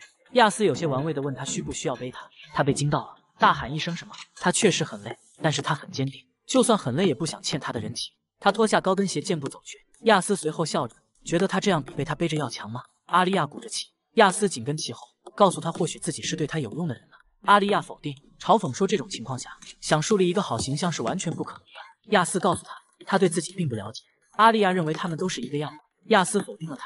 认为他对阿利亚小姐是非常了解的。阿利亚认为他是听了他的传闻，但是亚斯却说了不一样的话。阿利亚急了，转过去恶狠狠地盯着他，但亚斯却用十分深情的眼神望着他。阿丽亚心跳突然加速，她开始觉得自己每次都对上这双眼睛就无法转移视线，好像看到了美丽的蓝色，神秘又温柔。亚斯趁着他走神的时凑近他的耳朵，告诉他不久后就知道他是谁了。等他对自己的亲近些后，并肯定的说不久之后他们就会见面。随后侍卫们找到了阿丽亚，一通慰问之后。告诉他庆典快结束了，阿丽亚觉得一切都太不真实，刚才发生的好似像一场梦。随后跟着侍卫们回到了庆典。回去后，侍女们告诉阿丽亚爆炸的原因，他们在那里讨论着，而阿丽亚却还在想着刚刚那个男孩，推测他是乡下来的贵族。想着想着，心里十分气愤。侍女打断了他，将刚才听到关于米埃尔小姐的事告诉了他。听说是米埃尔给弗雷德里克家小姐写信，内容是关于奥斯卡公子。这个女人身世实在悲惨，丈夫因为承受不住巨额债务的压力自杀，被逼无奈。只能去服侍贵族还债，不但债务丝毫没有减少，腹中的胎儿也因为劳累流失了。一位贵族发现了这个悲惨的女人，因为眼熟，将她升为了自己的专属侍女。但即使她被正式雇佣成为高级侍女，但这个贵族夫人却因生育失血过多离开了人世。这个女人不得不担上抚养这个女孩的责任。小女孩长大了，长成了一个甜美可人的女孩。女孩去拜访弗雷德里克小姐，小姐盛情的款待了她。女孩已经迫不及待的想见到奥斯卡，她的未婚夫。但弗雷德里克小姐。想要单独和女孩多待一会儿，就让奥斯卡晚些回来。女孩听后绽放出甜美的笑容。弗雷德里克小姐夸赞着女孩，告诉她奥斯卡虽平常对自己言听计从，但自己也不会希望他的对象对她有什么负担。随后夸赞着女孩真是一个完美的妻子。但女孩露出了哭脸，告诉小姐平时很难与奥斯卡先生见面，内疚着自己的能力不够，无法给丈夫帮上忙。弗雷德里克小姐安慰她不必担心，她一定是会和奥斯卡订婚的，她自己也这么希望。女孩再次绽放出甜美的笑容，喜悦控制不住的挂在脸上。能得到弗雷德里克小姐的认可是非常难得的事情，因为她现在是皇太妃的第一人选。如果能跟她成为家人，就不会有人欺负女孩了。不久后，奥斯卡回来了。奥斯卡有些诧异且心虚的望着弗雷德里克小姐，女孩赶紧迎合着奥斯卡，对他嘘寒问暖。但是奥斯卡似乎对他这些举动有些反感。弗雷德里克小姐在旁边嘀咕，表示他们都是要一辈子的人了。可是奥斯卡有些无语的回道道：“他还没有订婚呢。”小姐笑道：“虽然女孩还没有成年，但是奥斯卡的性子也不应该那么死。”女孩听后心里瞬间炸开了花，开始幻想着进入贵族生活的美好日子。没有任何人敢欺负她，没有任何的人生污点。几年后成为这里的艺人，已经是理所当然了。弗雷德里克小姐和奥斯卡随后离开了，在回家的路上，小姐不停地叮嘱奥斯卡要和女孩多多亲近，就算自己成为了皇太子妃，也要和其他强有力的贵族多多亲近。奥斯卡还是有所顾忌。弗雷德里克小姐觉得不对劲，说出了那个传闻：奥斯卡和妓女的女儿有密切来往。奥斯卡听后错愕，弗雷德里克小姐看出了什么，给了奥斯卡一个毫不留情的巴掌，还对他一番冷嘲热讽。奥斯卡急急忙忙的想解释什么，弗雷德里克小姐没有给他说话的机会。告诉他乖乖的听话，便暗示他以后不会再有自己的决定权。奥斯卡觉得很委屈，明明他不是传闻中的那样。几天后，阿丽亚收到了奥斯卡的来信，是你们都在夸奥斯卡对阿丽亚小姐真用心。阿丽亚谦虚的接过信，实在内心也炸开了花。又是侍女的一段阿谀奉承，可这时阿丽亚的表情却缓了下来。原来是信中奥斯卡告诉他以后无法通信的坏消息。这一封看似普通的告别信，却关乎着这个女人今后的生活。她整个人心态都崩溃了。身边的侍女像是一团热锅上的蚂蚁，这个女人心里一遍又一遍幽怨地重复着奥斯卡的名字。不一会，一个侍女冲进了她的房间，告诉她楼下的妹妹也收到了来信，而妹妹的来信却和自己的截然不同。信中奥斯卡写了一些冒着粉红泡泡般的情话，他们都不敢相信这是奥斯卡写出来的话，这一定是弗雷德里克小姐代笔写的。女人恍然大悟了，她一直觉得只要抓住奥斯卡就能解决一切，但是却忘记了这个棘手的小姐。妹妹可以和奥斯卡结婚，完全取决于这个小姐。就算奥斯卡还是肯定给这个女人写信，但是这完全不能解决什么。女人跪坐在地上，绝望的哭了。随后在饭桌上，这个女人看到妹妹头上闪闪发光的头饰，露出了嫉妒的神情，心里满是对她的仇恨。妹妹在跟客人寒暄着，传出一阵阵欢快的笑声。这个女人心里痒极了，心想着把妹妹的脖子扭断，然后逃跑。客人正对着妹妹说着税收的事，妹妹单纯的想要通过简单的人脉关系解决。这个女人在旁边讽刺道：“没有莱恩先生，家里就什么都做不到。”随后，女人为他们提出了在首都附近建一个仓库的建议，这样有需要时把东西运进去就可以了，税收也随之大大减少。莱恩先生听后感觉十分震惊，他们恍然大悟，觉得这个建议十分有用。妹妹听后貌似感到有些慌张，立马提出了不妥之处，但是女人又立即反驳了。妹妹在惊叹着皮草税的昂贵，而旁边的侍卫对妹妹阿谀奉承道：“不是他预言了皮草会流行，税金才会出现。”莱恩先生有些听不下去了。连忙圆场庆祝找到了解决办法。女人在心里默念：即使自己能知道未来，也没有办法。她也只不过是变成了一个聪明的小姐。重要的问题还是无法解决，什么都无法改变。她飞扑到床上，露出悲伤又无助的表情。因为就算她请求奥斯卡不要停止信件来往，也什么都无法改变。就算今天压了妹妹一头，也没有什么用。她就只能这样，害怕脖子被砍掉而彻夜难眠吗？她的人生就只能这样止步不前吗？这个女人打扮的花枝招展，打算去见未婚夫的姐姐。在父亲的叮嘱下，坐上了马车离去。安妮将这一切都看在了眼里，她冷笑一声，骂骂咧咧地向阿丽亚禀报此事。没想到阿丽亚完全不感冒，而且面容憔悴极了。毕竟昨晚还为了奥斯卡的事情哭泣。当阿丽亚问起米埃尔的穿着打扮时，安妮指出全是艾希斯送来的服饰。阿丽亚叹了口气，今天是艾希斯的生日，米埃尔等贵族人士受邀参加，这也决定着艾希斯今后的地位，而自己则会再次挣扎着死去。想到这里，阿丽亚只觉得回天乏术，找了个借口后昏昏入睡了。安妮跟杰西面面相觑，对自家小姐的健康状况担心不已。米埃尔则是来到艾希斯的生日现场，坐在派对主人的身边，混得风生水起。无数的贵族小姐前来向艾希斯搭话。米埃尔见状，心生一计，借用父亲将话题带向了自己。两人相谈甚欢。奥斯卡却在众人的眼光中姗姗来迟。他礼貌地请着安，帅气的模样看得米埃尔眼睛都直了。在简单的寒暄后，米埃尔认为奥斯卡的心也逐渐回归正轨。艾希斯借机会撮合起来。虽然结婚是板上钉钉的事情。不过米埃尔还是害羞了。正在这时，管家急匆匆的前来禀报，没想到皇太子突然登门拜访。众人听后大吃一惊，随即就表现出该有的姿态，纷纷认为皇太子和艾西斯的婚姻是理所当然的。米埃尔还天真的认为皇太子真的前来祝福艾西斯生日快乐。只有奥斯卡觉得事情不对劲，因为姐姐今天的所作所为，完全是在向皇族施压。皇太子来了肯定不是什么好事。艾西斯也有些恼羞成怒，不知道这个男人究竟想做些什么，但是碍于脸面。只能毕恭毕敬地向他行礼，没想到亚斯根本不当一回事，匆匆地打完招呼以后，就直直地朝着艾希斯身边的米埃尔看去。一直以来，他都将阿利亚错当成米埃尔，现在看着眼前的女人，竟然比印象中矮了不少。米埃尔有些不知所措，他完全搞不明白眼前的形势。艾希斯也懵逼了，皇太子竟然来到自己的生日宴会找米埃尔，若非米埃尔私下和他有交情。正当亚斯洋洋得意地宣布自己的身份时，米埃尔疑惑地抬起了头，亚斯则睁大了双眼。站在眼前的女人，竟然不是自己朝思暮想的对象，他的内心是崩溃的。那么自己的心上人，现在究竟身在何方呢？这个女人太坏了，一边伪装出一副温柔的善意样子，一边又在背后嘀咕抱怨。在皇太子走后，米埃尔瞬间就腿软了，幸亏有奥斯卡在旁边扶着他。艾希斯连忙追问米埃尔，询问米埃尔和皇太子殿下之间。发生了什么事情？但是米埃尔表示自己并不知道发生了什么，这是第一次见到殿下，并且也不知道那句真正的小姐指的是什么。看到还在不断抽泣的米埃尔，艾希斯感到很是同情，表现得很心疼这个孩子。于是艾希斯让奥斯卡带米埃尔去休息。但是在米埃尔离开后，他立马在背后嘀咕，认为小孩子真的是很麻烦。但是另一方面，他也认为这是个很好的时机，因为奥斯卡就喜欢关注楚楚可怜的人。如果能借这个机会，奥斯卡可以对米埃尔上心的话。那么也算是一件好事。在照顾完米埃尔的情绪之后，艾希斯开始缓解刚刚皇太子带来的尴尬，对在场的宾客笑脸相迎，开着无伤大雅的玩笑。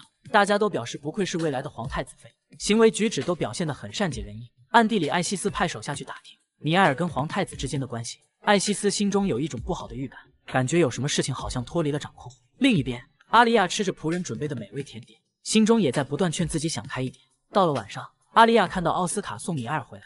米埃尔的父亲责怪奥斯卡送米埃尔回来的时间太晚了，而奥斯卡表示在宴会上发生一点意外之后，米埃尔就睡着了，就没忍心叫醒他。伯爵也不再追究，只是给奥斯卡强调了一下，表示他们还是未成年，并且还没有结婚。奥斯卡原本打算告别离开了，但是没想到伯爵留他在这里住一晚上。阿利亚没想到奥斯卡连看都没有看他一眼。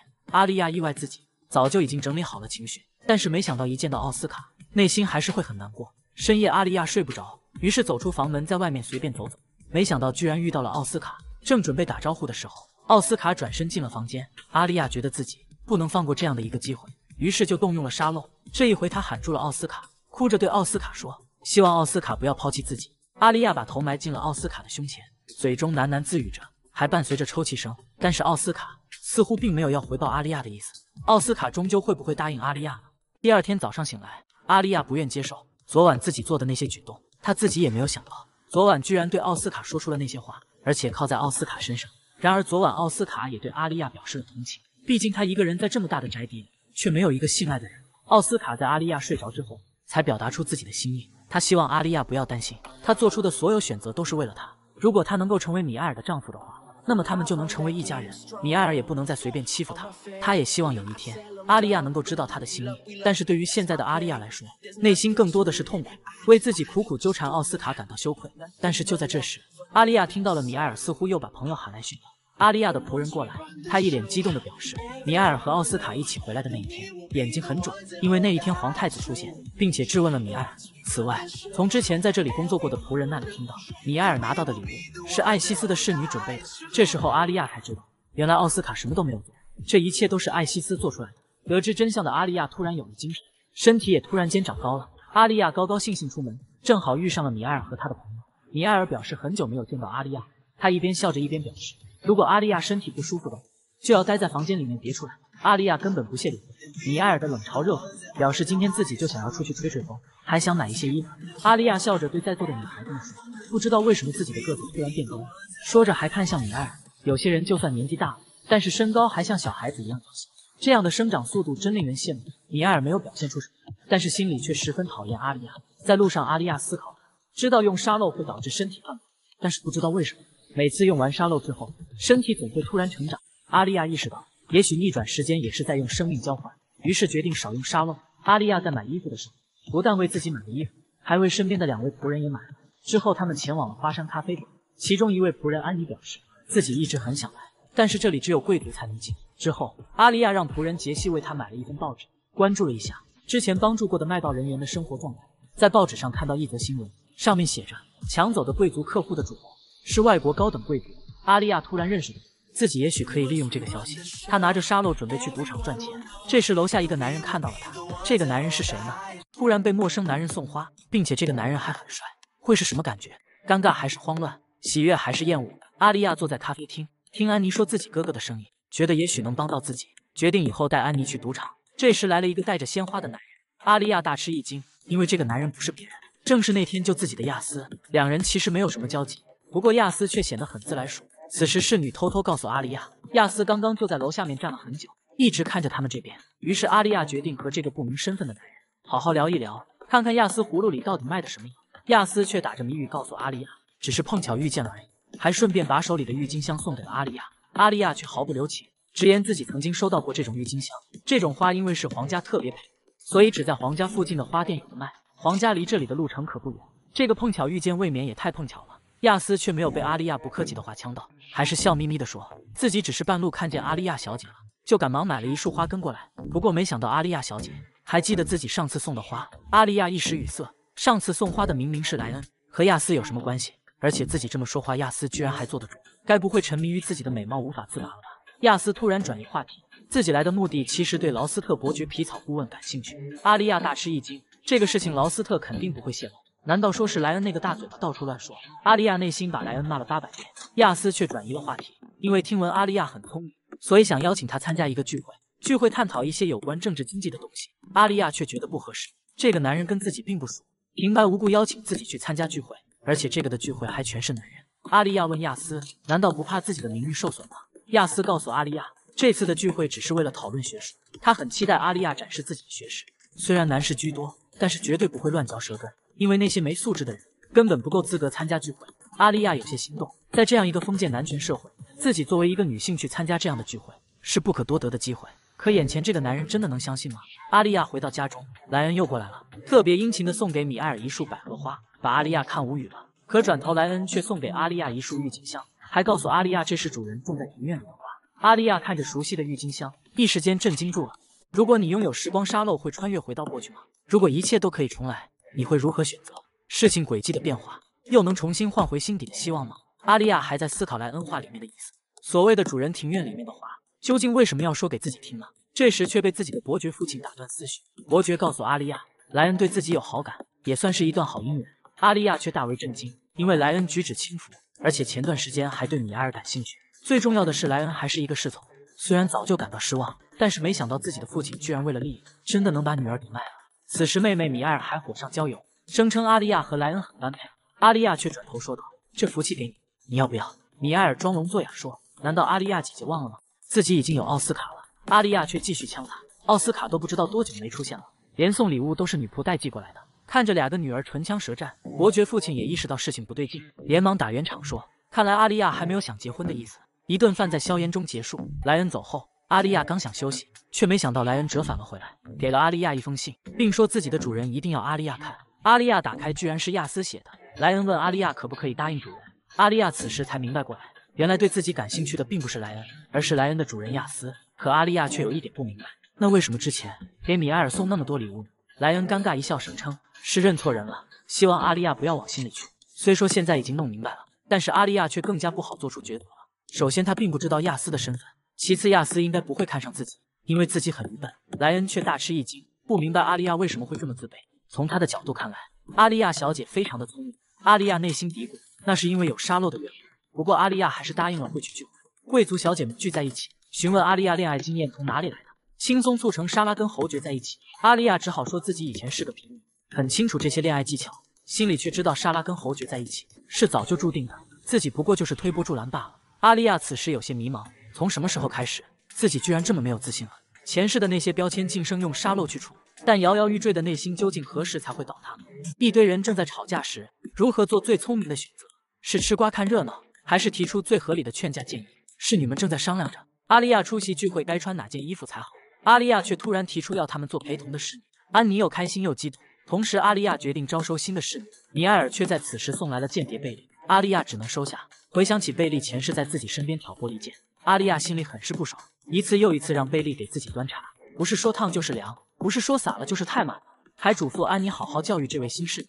阿丽亚准时赴约亚斯的聚会，一进门果然看到了不少贵族，大家都互相客气的介绍，阿丽亚直言叫自己的名字就行。众人坐在一起探讨赌场运营的问题，虽然亚斯说话很自然，但众人对他的态度十分尊敬。阿丽亚不由猜测起亚斯的身份。有人提出赌场被限制难以管理，再加上不再用于娱乐，那就应该关闭。可大部分极端派贵族却持反对意见。首先，赌场的税金是一个很有油水的东西；其次，因为别国十分觊觎这个生意，皇太子又在亲自管理，赌场是拉拢贵族的有效方式。最后，如果把赌场一次性关闭，抓得越紧，反而会适得其反，非法的赌博就会滋生，贫富差距变大。莱恩提出可以限制金额运营，可那样的话，靠什么限制贵族是否如实报告了自己的资产，也是一个大问题。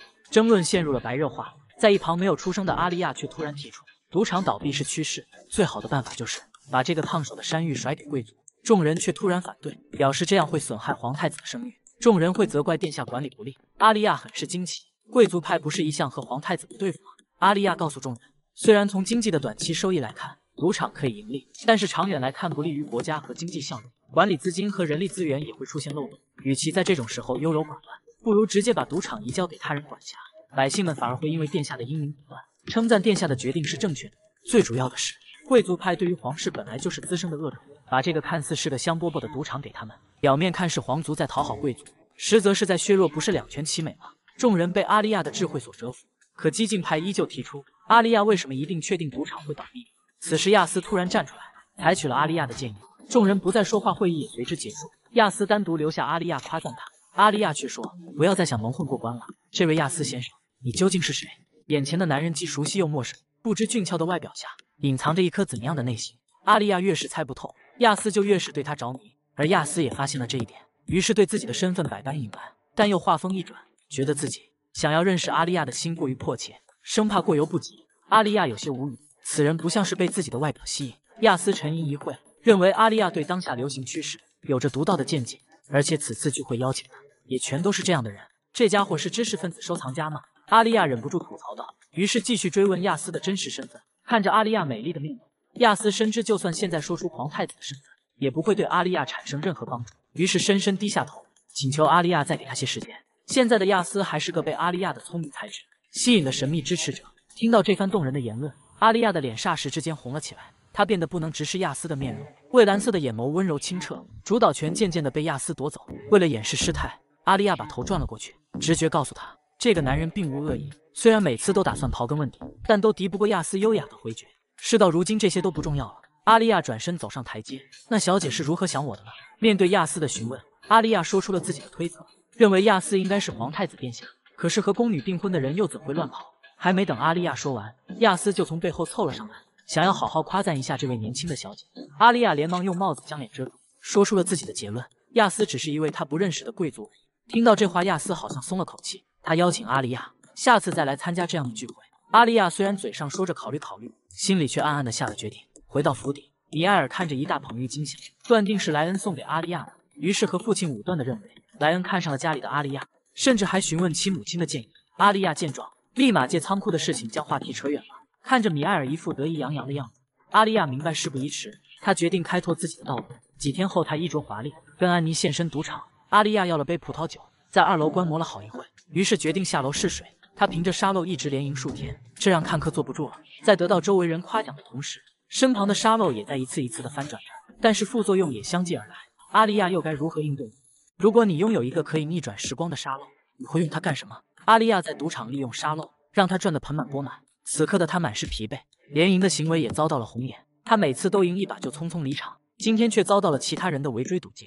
许多赌鬼都希望能从阿利亚口中得知一点关于赌博的要领。危机时刻，安妮和阿利亚只得分头逃跑。随着众人追赶的脚步越来越近，眼看阿利亚就要被捉住，正在此时，一个戴着金色狮子面具的男人出现。他将阿利亚带进了一个包间内，敏锐的阿利亚察觉出了异样，听声音竟然有些熟悉的感觉。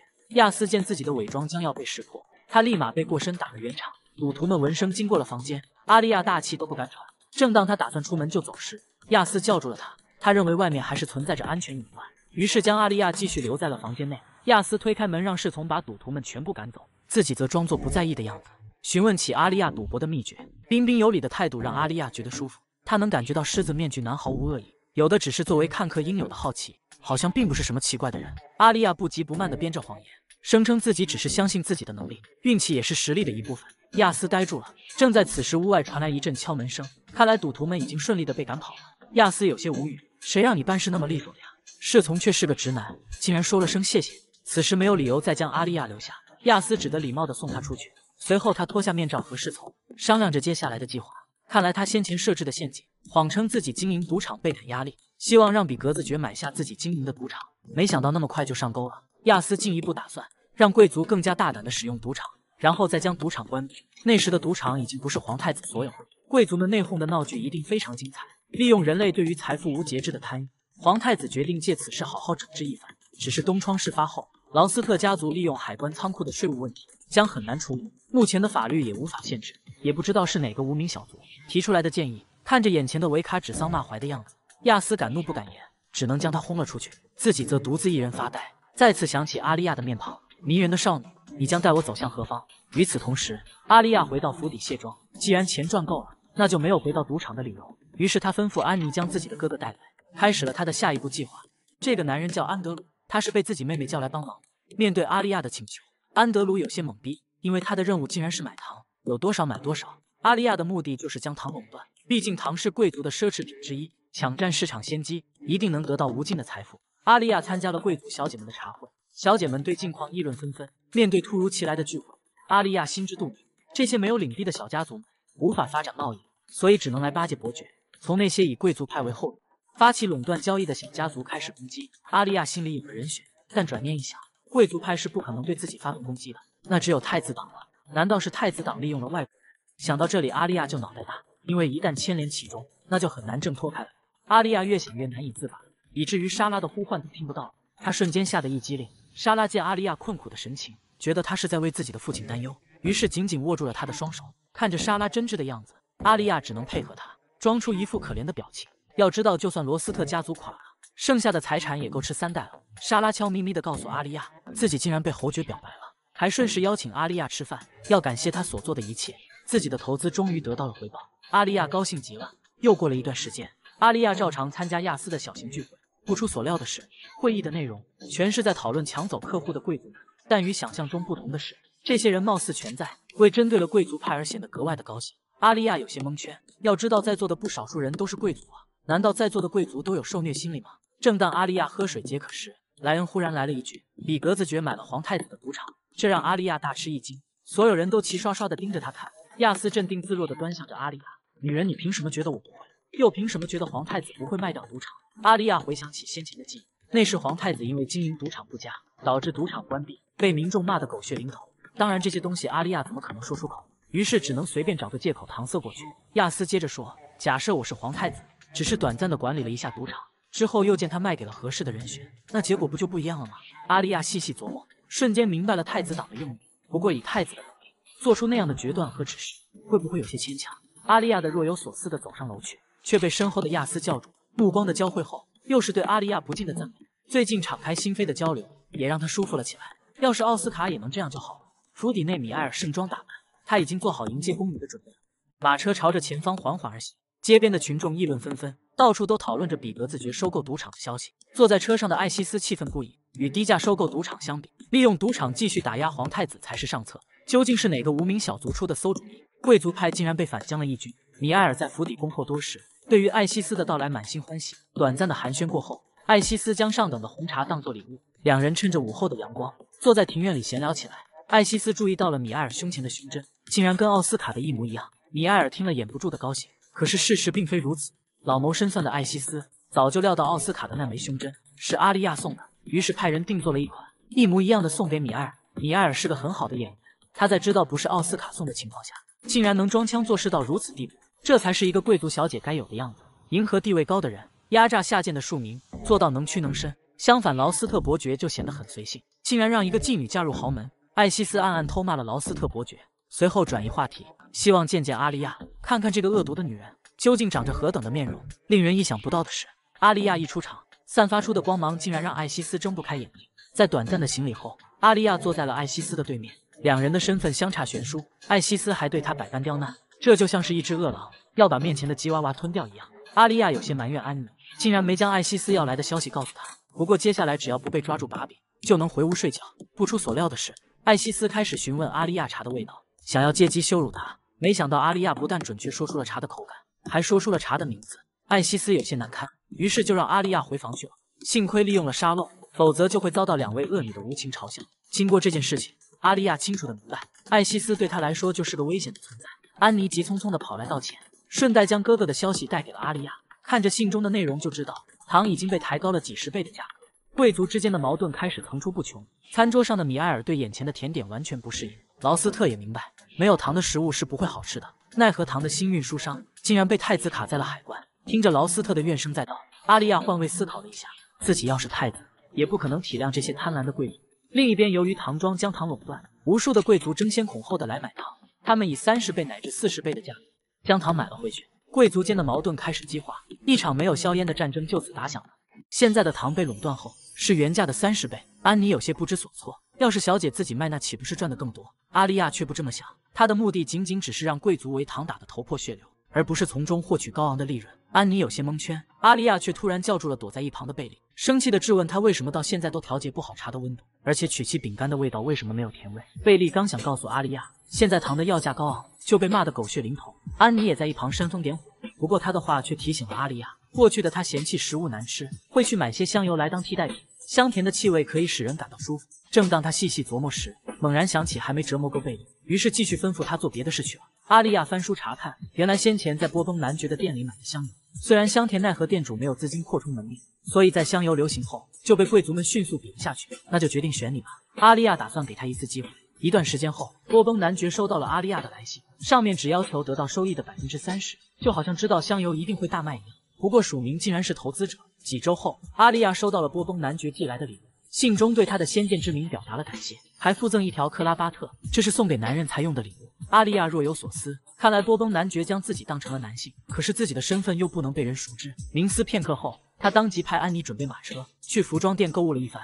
新装上身，帅气的阿利亚一进波崩香油店，就指名道姓要求见老板。波崩与阿利亚面对面的坐着，瞬间就被眼前的美女迷得神魂颠倒。神经大条的他，在不知道对方是谁的情况下，就这么会面了。阿利亚有些无语。当他将自己身份告诉波崩时，波崩扇了扇自己的耳光，自己竟然会对未成年少女动心，真是丑态百出。阿利亚继续向波崩询问商品发展的前景，没想到他竟然想以惠民的价格来销售，想让普通的民众也能享受到贵族的香油。阿利亚微微一笑。看来自己没有投错人。不过对于初次见面的美女，就说这样的话。波崩听后脸瞬间红了一片，于是将自己无条件信任阿利亚，还有身后那位匿名投资人的事情说了出来。阿利亚淡定的拿下自己的克拉巴特，若无其事的戴在波崩的脖子上。当他看清克拉巴特的样子时，瞬间明白原来神秘的投资人就是眼前的阿利亚。这个男人有些惊慌失措，因为他将自己的幕后老板错当成了男人。看着自己送给阿利亚的礼物被原封不动的还了回来，波崩男爵惊讶不已。原来阿利亚就是神秘的投资人，他慌忙的追了出去，为自己的势力感到抱歉。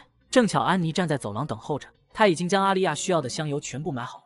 波崩一听“买”这个字，整个人瞬间五雷轰顶，投资人居然要买，就算直接拿都不过分。于是立马叫人准备了豪华的香油礼包，几乎包括了店内所有的款式，作为礼物送给了阿利亚。顺带又将店内推出的新品，可以长时间保持香气的花一束送给阿利亚，另一束送给了站在旁边的安妮。安妮显得不知所措。惊喜的接过了眼前的白色花束，阿利亚偷偷一瞥，觉得这是把安妮推销出去的好机会，于是就帮她介绍起来。波崩男爵就这样和安妮相识了，还是那些客套的夸赞，却引得安妮阵阵脸红。阿利亚在一旁调侃道：“莫非波崩男爵对美女没有抵抗力？”同时也小声告诉他，自己的真实身份一定要保密。回去的路上，安妮犯起了花痴，看来波崩就是那种撩人于无形的男人，只不过对阿利亚不适用，对情窦初开的安妮却是致命打击。看着安妮激动的样子。阿利亚觉得两人是不错的组合，要是这桩婚事达成，对于周围的侍女，包括阿利亚本人来讲，只有益处没有坏处。问题就是如何帮助安妮调波崩了。马车很快行驶到了府邸，成箱的香油没有搬进阿利亚的房间，而是放在了一楼的客厅里。阿利亚叫安妮把这些全都分给侍女，要是香油全部用完，那就派安妮前去购买。安妮一听激动极了，能见到心心念念的男爵，可是会成为高兴一天的事情。于是过了不久，香油所剩无几。安妮高兴的着装出门，前去波崩的商店购买香水。看到安妮的到来，波崩很是高兴，可是聊天的内容却张口闭口都是阿利亚，这让安妮有些沮丧。到了傍晚，无精打采的安妮打道回府。阿利亚察觉到了不对劲，于是向她询问聊天的内容。当阿利亚得知安妮觉得自己颜值不如他时，瞬间就明白了波崩的说辞，于是开始给安妮洗脑。所谓的爱情就是权衡利弊，你爱的不是波崩，而是他的财产。就这样，情窦初开的安妮没有了伤心，脑海里只有阿利亚小姐的话语。到了晚上，米埃尔因为吃不到糖，还是对菜没有任何胃口，但阿利亚却吃得津津有味。难道调味汁的味道回来了？当他疑惑之时，竟然在女仆的身上闻到了香气，顿时明白了一切。看来整个府邸的人都将为我所用。这天，莱恩登门造访，又是带着大包小包的礼盒。阿利亚以为是送给自己的，没想到又是送给米埃尔的。就在这时，莱恩让一位男仆将属于阿利亚的礼物搬入房中。阿利亚心不在焉的答应着，却没注意门被悄悄的关上了。随后，男仆摘下头套，来人竟是亚斯，但阿利亚没有一丝震惊，毕竟亚斯在他身边神出鬼没是常事。由于这段时间没有聚会，两人心中的情愫更深了一步。这次亚斯不为别的，只是专程来见阿丽亚。除此之外，还有什么比这更重要的呢？阿丽亚一听，小脸通红。但为什么要把糖送给米埃尔呢？亚斯解释道：“是因为他想跟阿丽亚多待一会。”阿丽亚听后放心下来。亚斯一听就知道阿丽亚是在妒忌米埃尔。见自己被拆穿，阿丽亚的脸又红了。难道真的是因为利用吗？他说出的话竟然连自己都说服不了。亚斯趁机悄悄靠近，我发誓以后只会把礼物送给你一个人。随后就被赶来的莱恩叫走了。不一会，杰西冲了进来，他是来给小姐送下午茶的。阿丽亚顺手打开了礼盒，没想到是一套华丽的礼服。他想，莫非是为了先前认错人才特意送来的吗？阿丽亚开心的笑了。现在奥斯卡已经没有了利用价值，看来需要另辟蹊径了。安妮将一叠信递给了阿丽亚，是波东男爵请求他过目的。看着安妮激动的样子，阿丽亚一语就猜中，男爵对她的态度发生了转变。看来在自己的帮助下，两人发展的不错。安妮夸赞着阿丽亚的远见，殊不知这都是阿丽亚分析上一世信息得出的结果。想着想着，亚斯的脸就浮现在他脑海里，阿利亚的脸瞬间又红了起来。第二天黄昏，阿利亚乘着马车去见莎拉，她寄来了一封信，信中邀请阿利亚与他和侯爵会面。阿利亚推开门迎接他的是侯爵大人，莎拉也冲了出来，看见阿利亚又惊又喜，于是三人一同进屋用餐。阿利亚对他们的邀请表示感谢，侯爵认为这都是理所应当的。莎拉诉说着与阿利亚在一起的快乐时光，脸上浮现出幸福的笑容。她觉得能碰上一个知己真的很开心。阿利亚有些惊讶，尽管她不断的麻痹自己，这一世她就是来复仇的，莎拉就是被她利用了而已。但是眼前的幸福却令她无法忽视。阿丽亚心中真诚的祝福着莎拉。阿丽亚的生日马上就要来了，可是她并不想大办，因为在这之后就是妹妹米埃尔的生日，那天宫女也会来，众人会为宫女的到来忙里忙外。在那之前。自己没必要为生日派对表现得很显眼。阿丽亚的生日就这样简单的过去，除了收到那束匿名送来的郁金香，米埃尔的生日很快来临，来来往往很多人。阿丽亚坐在一边，冷漠的看着表面光鲜亮丽的贵族们，用最恶毒的话攻击她的身世。奥斯卡和米埃尔宫女母亲一同进入宴会，众人议论纷纷。宫女站在台前说道：“米埃尔小姐成年后会和我们奥斯卡成婚。”阿丽亚看着奥斯卡给米埃尔戴上婚戒，虽然说自己接近奥斯卡本来就是为了膈应米埃尔，如今成为一张气牌。可奥斯卡坚定地选择自己，阿丽亚内心再也忍受不住，猛地跑了出去。阿丽亚跑到窗边，自己对于奥斯卡是什么样的感情呢？没有得到一张可用的牌儿，气愤吗？这个世界上有些东西，就算努力了也没有办法获得吗？失落感似一堵看不见的墙，包围了阿丽亚。阿丽亚走到自己卧室门前，发现了一个礼盒，里面装的是自己送给奥斯卡的胸针。阿丽亚的愤怒达到了顶点，这个渣男明明自己什么都没做，一头跟米埃尔订婚，一头送过来这个胸针，暗示旧情。难道是到如今还要我去理解？阿丽亚猛地要把胸针扔到地上，却看到那束闪亮温柔的郁金香。阿丽亚愣住了，自己为什么要为这样的人生气呢？现在的自己和以前的自己不一样了。这一世自己有着资产、信仰和力量，为什么要否定自己的努力呢？离米埃尔展现实力还有一段时间，如果什么都不做，等待他的只有死亡。自己绝不会像上一世那样放弃人生。饭桌上，众人在讨论着米埃尔的婚期时间。阿丽亚把红色的玫瑰胸针戴在胸前，向米埃尔展示着，说胸针就在订婚那天。他的房间门口收到的，和公爵家的图案一样漂亮。米埃尔想到了原因，气得半死。阿丽亚勾唇一笑，不屑地把胸针扔到了一边。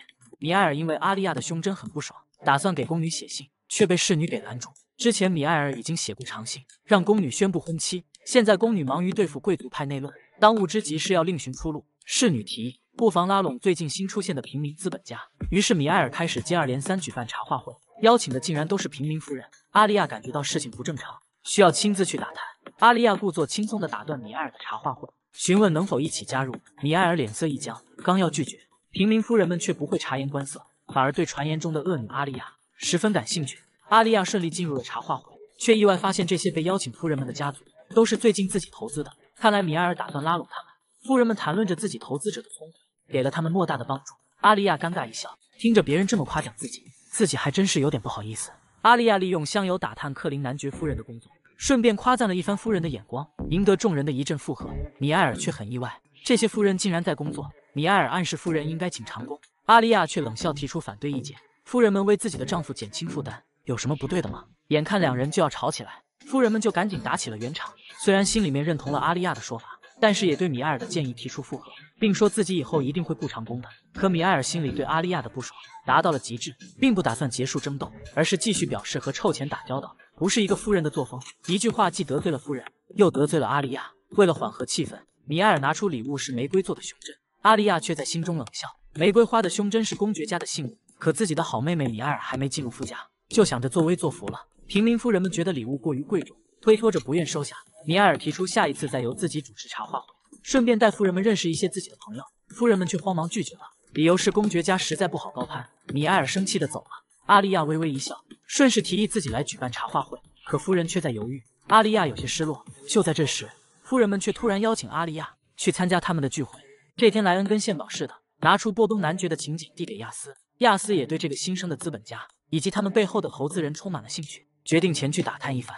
与贵族派的纷争日益白热化，那群可恶的走狗居然因为看不惯皇太子的日益打压，上请要把皇太子送去边疆。就连亚斯的老爸也急忙召他回去。不过亚斯微微一笑，并不打算放过他们。从协商赌场的会议开始，亚斯就不再隐藏手段。这些滋生的恶虫总要一个个慢慢铲除才好。莱恩夸赞，还是阿利亚小姐聪明。当时把赌场给贵族的提议太明智了，亚斯也幻想着那个金发少女的脸，然后自己脸也慢慢的红了，随即也附和。莱恩夸奖起来，不得不说，爱情的力量真是伟大，总能让人变得真诚坦率。莱恩提议可以使用亚斯的瞬移技能去见一面阿利亚小姐，不过却被亚斯拒绝了。虽然他也很想念阿利亚，可是瞬移很消耗体力，不过也因为有了这份思念，工作才更加有动力。希望我们能快点见面，美丽的阿利亚小姐。亚斯开始认真展开工作，决定同意奢侈品降价。并把信递给了中立派，不过并不是向贵族派低头，而是以退为进。毕竟突然的降价会搅乱市场秩序。中立派看到了信，不由感叹皇太子的前途未卜。远在首都的阿利亚也听闻了皇太子最近的作风，许多贵族纷纷破产，赌场也被查清。阿利亚想象着贵族破产后对劳斯特家族的影响，自己流落街头的样子，不由小脸一红，那可真是太美妙了。阿利亚回过神，看着眼前跪在自己面前的女仆贝利，眼神低沉，这么慢的动作。恐怕自己来年才能喝到泡的茶了吧？贝利被问得瑟瑟发抖。阿丽亚把瓷杯扔在地上，微笑着叫贝利快速打扫干净。侍女前来传膳。阿丽亚想着自己前世被这个女仆耍得团团转，再一次感慨自己前世真的是单纯的可爱。阿丽亚微微一笑，吩咐贝利把煮的茶全喝。贝利脸色一度十分难看，阿丽亚却很幸灾乐祸，不知道该说幸运还是不幸运。我的第一个复仇对象，可爱的小贝利，如果你拥有超能力，会选择哪一种呢？一直以来，阿丽亚都认为。只有他拥有沙漏逆转时空的能力。直到遇见这个男人，劳斯特家族饭桌上，大家在热烈讨论着中立派的行为。阿利亚却因为这件事猜测亚斯的真实身份，难不成是皇帝的私生子？劳斯特男爵询问阿利亚对于中立派有什么见解，阿利亚却并不打算帮他，装出一副懵懂无知的样子，反而被妹妹米埃尔阴阳怪气了一番。很快迎来了新生资本家的聚会，阿利亚受邀请参加，而与此同时，亚斯也以皮诺鲁亚的身份参加了聚会，两人就这样在会议上见面了。阿丽亚大吃一惊，没想到亚斯的真实身份是皮诺鲁亚。不过你哪来的那么多钱？阿丽亚瞪向亚斯，谁知道亚斯居然眼神躲避，一下子把阿丽亚搞得无语又生气。亚斯也同样很尴尬。不过两人都在互相偷偷摸摸看对方，观察着嘴角相互的变化。阿丽亚向众人大方的介绍了自己，而上次茶话会读到的见解，赢得了众人的一致好评。可亚斯看着阿丽亚看向别的男人，心里面打翻了醋坛子。接着亚斯微微一笑。作为是这次的新投资人，开始介绍投资项目，居然是一所学校，而学校的独特之处在于，包括平民的所有人都能来上学。阿利亚微微一愣，虽然看似在投资，不过亚斯这种行为是在为平民提供机会，难道是自己让他看见了希望？阿利亚心里暗暗高兴，却被亚斯打断，并不是，因为帝国需要人才。阿利亚表情尴尬，原来是自己自作多情了。会议结束后，阿利亚并不打算理亚斯，亚斯像一只大狗狗一样凑过来打招呼，两人走在路上。阿利亚有些失落，自己居然是在这样的场合知道亚斯是皮诺鲁公子，亚斯却却否定了这个身份。阿利亚有些疑惑，三番五次隐藏自己，难道真的是私生子？随后亚斯将阿利亚带到了森林里，还声称是在首都旁边。阿利亚此刻怒火中烧，还骗我呢？这么多公里路，怎么可能走这么一小会就到？眼前这个男人明明喜欢自己，墨迹不说就算了，还总是骗自己，真是可恶极了。阿利亚眼神暗淡了下来，亚斯将她带进了木屋，开始认真的向阿利亚解释。自己家族特有的能力，也就是瞬移。阿丽亚因为拥有时光沙漏的原因，很快明白了过来，随即说到：“皮诺卢只是一个化名，自己真实身份是亚斯特罗佩，也就是皇太子。”什么皇太子？阿丽亚顿时呆愣住，又羞又气，一股晕眩感侵袭而来。暧昧对象的身份居然是皇太子，亚斯有些手足无措地看着阿丽亚，希望阿丽亚可以像以前一样对待自己。不过对于阿丽亚来说，显然难度有点大，毕竟眼前的人可是皇太子，自己之前还那样的无礼。亚斯随即安慰阿丽亚，自己并不在意阿丽亚的行为，反而觉得阿丽亚充满了魅力。阿丽亚顿时害羞，亚斯看着她，好像一只炸毛的小猫咪一样，很是可爱。因为有急事，亚斯只能在阿丽亚的手背上落下一吻，并说以后来信。阿丽亚回到家中，抚摸着手背，有些甜蜜和失魂落魄。没过多久，亚斯的项目企划书就送过来了。阿丽亚不会错过和皇室的交集，很快签下了项目书，不过却为如何告诉亚斯自己是投资人而感到苦恼。劳斯特家族其乐融融的聚餐上，母亲提到了莎拉和侯爵的订婚，炫耀了一番自己的女儿和莎拉的好感情。米埃尔很是惊讶，父亲劳斯特男爵赶忙开始向阿丽亚献殷勤，不过阿丽亚却丝毫不理，反而因为父亲的阿谀奉承很生气。此时收到了亚斯的信，虽然只是简简单单的几句问候，阿丽亚的心情却莫名其妙的变好。可能这就是爱情的力量吧。很快迎来了莎拉的订婚宴，阿丽亚特意穿着莎拉闺蜜款礼盛装打扮了一番，美貌亮瞎了米埃尔。阿丽亚将自己精心准备的送给莎拉，姐妹俩很久未见，搂在一起十分开心。米埃尔却不合时宜的打断，并向莎拉介绍自己，顺便嘲讽一波阿丽亚。莎拉听到好姐妹被这样说，眼神都能刀人了，也为阿丽亚的处境隐隐担忧。侯爵大人发现了妻子的不正常，前来安慰。莎拉羞涩的看着他，心里也由衷希望阿丽亚可以和自己一样遇到一个人。阿丽亚跟随自己的父亲站在宴会里，成为了众星捧月的小姐。阿丽亚的心里却没有多恍如隔世的感觉，听着众人的赞扬，又是怀念又是排斥的矛盾，充斥着阿莉亚的整个身体。就在这时，亚斯突然出现的身影打断了阿莉亚的思绪。阿莉亚赶忙的追了出去。夜色十分浓重，阿莉亚并没有发现亚斯的身影。就在她失落之时，一件温暖的衣服披在了她的肩上。阿莉亚看着亚斯披在自己身上的衣服，脸色通红。两人在庭院下甜言蜜语。阿莉亚希望亚斯可以正大光明的看自己，可亚斯这次来是为了拉拢侯爵，他却难以把持自己的思念之心。为了不直面贵族派，只能远远的观察阿莉亚。月光洒在阿丽亚的金色长发上，亚斯一瞬间晃了神，竟觉得阿丽亚好像镜花水月一般。亚斯在阿丽亚的额头附上一吻，结束两人短暂的会面。就在这时，一声尖酸刻薄的喊叫出现。原来在背地里观察的宫女发现两个人亲密举动，怒斥着阿丽亚和亚斯的不检点。亚斯却对这个名义上的未婚妻不感冒。何况自己从心底就没打算娶她，于是便对宫女阴阳怪气了一番，哪怕自己打光棍一辈子也不会娶宫女。这话把宫女气得够呛。亚斯只是微微一笑，顺便拿赌场账簿暗示威胁了一番。聚会结束后的宫女回到家中，越想越气，皇太子是肯定不能动的了。那么阿丽亚那个到处勾引人的小贱人，势必要铲除。就在宫女一筹莫展之际，米埃尔登门拜访，宫女顺势提出要对付阿丽亚。米埃尔内心早已迫不及待。何况在家也不少给阿丽亚使绊子，现在有了宫女的支持，恶毒的想法一下子冒了出来。另一边的阿丽亚坐在沙发上，看着贝利的举动有些可疑。就在这时，安妮开心的跑了进来，手里拿着皮诺鲁的信。阿丽亚想起亚斯的处境，竟然和前世的自己如出一辙。也许上天在冥冥之中自有安排，把两个拥有特殊能力的人放在一起，这样的话可扭转命运吗？安妮很高兴。自从宴会之后，小姐有了这么多追求者，可呆愣的贝利却不给安妮倒茶，惹得安妮很不爽。阿丽亚存在试探的心。叫安妮喝了自己的茶，安妮拿起茶杯喝了一口，却被贝利猛地打翻。安妮当即大骂起来，突然脸色煞白的倒地不起。阿丽亚猛地冲到贝利的眼前，揪起他的头发。前世母亲的死历历在目，也是和安妮一样的症状。这个贝利也是害死自己母亲的凶手。时光沙漏在阿利亚的手中，慢慢流转起来。时间回到了安妮还未喝茶的时候。不过这一次，阿利亚亲手端起了这杯剧毒的茶，喝完一口后，在贝利得意有阴暗的眼神中，倒在了地上。这个侍女下毒后畏罪潜逃。成功坐实了毒害小姐的传言，而阿利亚早有准备，很快就醒了过来。米埃尔看似着急，匆匆赶了过来。阿利亚顺势装出一副好姐姐的样子，暗示贝利是米埃尔送过来的。如果没送过来，今天出事的恐怕就是自己可爱的妹妹了。众人看着阿莉亚柔弱的样子，内心的怜悯度蹭蹭往上涨。消息很快传得沸沸扬扬，不过却只是侍女刺杀小姐。阿莉亚觉得远远不够，吩咐安妮的好好宣扬一番。不久后，听见消息的莎拉也赶过来。阿莉亚为了装病，故意节食。此时，在好闺蜜莎拉眼中，更是柔弱到不能自理。莎拉握着阿莉亚的手，告诉阿莉亚自己永远会相信她。阿莉亚也被真挚的感情打动，真心实意的感谢莎拉。因为安妮故意的宣扬，事情被扯到了有人故意指示侍女，嫌疑最大的就是米埃尔的侍女艾玛。阿丽亚很满意事情的走向，就连前来拜访查案的骑士都被阿丽亚装出来的柔弱样子打动。阿丽亚暗示骑士可以去询问一下米埃尔，毕竟这位妹妹和艾玛关系最好。骑士走后。阿丽亚坐在窗边，看着盛开的郁金香，告诉安妮，冬天可以不用总是换鲜花了。安妮却觉得奇怪，因为郁金香每天是以阿丽亚的名义送来的。阿丽亚随即想到了亚斯，甜蜜的红晕染在了阿丽亚的脸上。此时，一位不速之客赶来，竟然是自己同父异母的哥哥卡因。不过，卡因的举止却很怪异，虽然在关心阿丽亚，不过眼神却十分暧昧，让阿丽亚有些摸不着头脑。劳斯特家族其乐融融的饭桌上，众人讨论着阿丽亚遇刺的事情，纷纷表示关心。不过卡因却因为阿丽亚的事情兴师动众，派遣了许多人去打探。阿丽亚想到了缘由，顿时一顿恶心，还真的是虎父无犬子啊！伯爵就因为厌倦了原配搞外遇，卡因居然对自己的妹妹产生了那样的念头。不过阿丽亚很快冷静下来，这样也不是不行。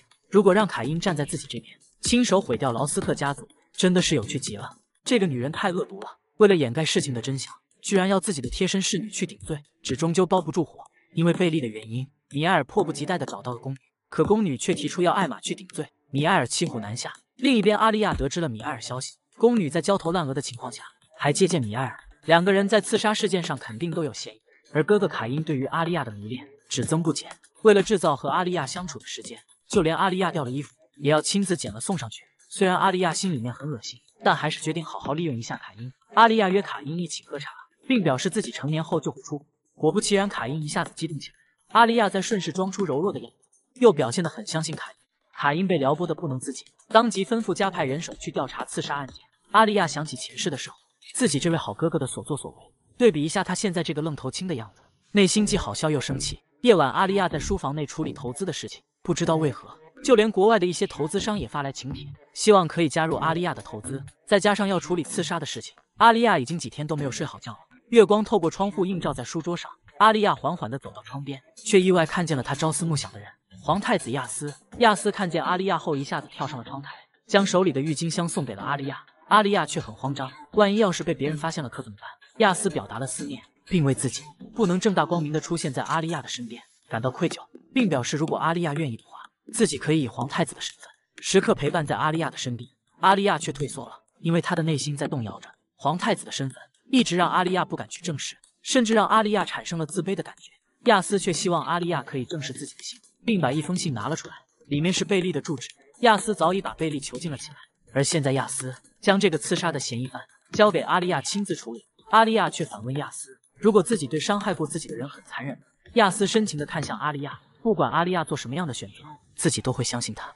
阿丽亚因为亚斯的话久久不能平静。这天，一个包裹岩石的神秘人找到阿丽亚。摘下头套后，居然是贝利。原来早在几天前，阿丽亚拿着亚斯给的地址找到了贝利。此时的贝利因为几天的身心折磨，早已憔悴的不成人样。阿丽亚的内心丝毫没有波澜，抓住贝利的头发，告诉他自己早就已经知道幕后主使是谁。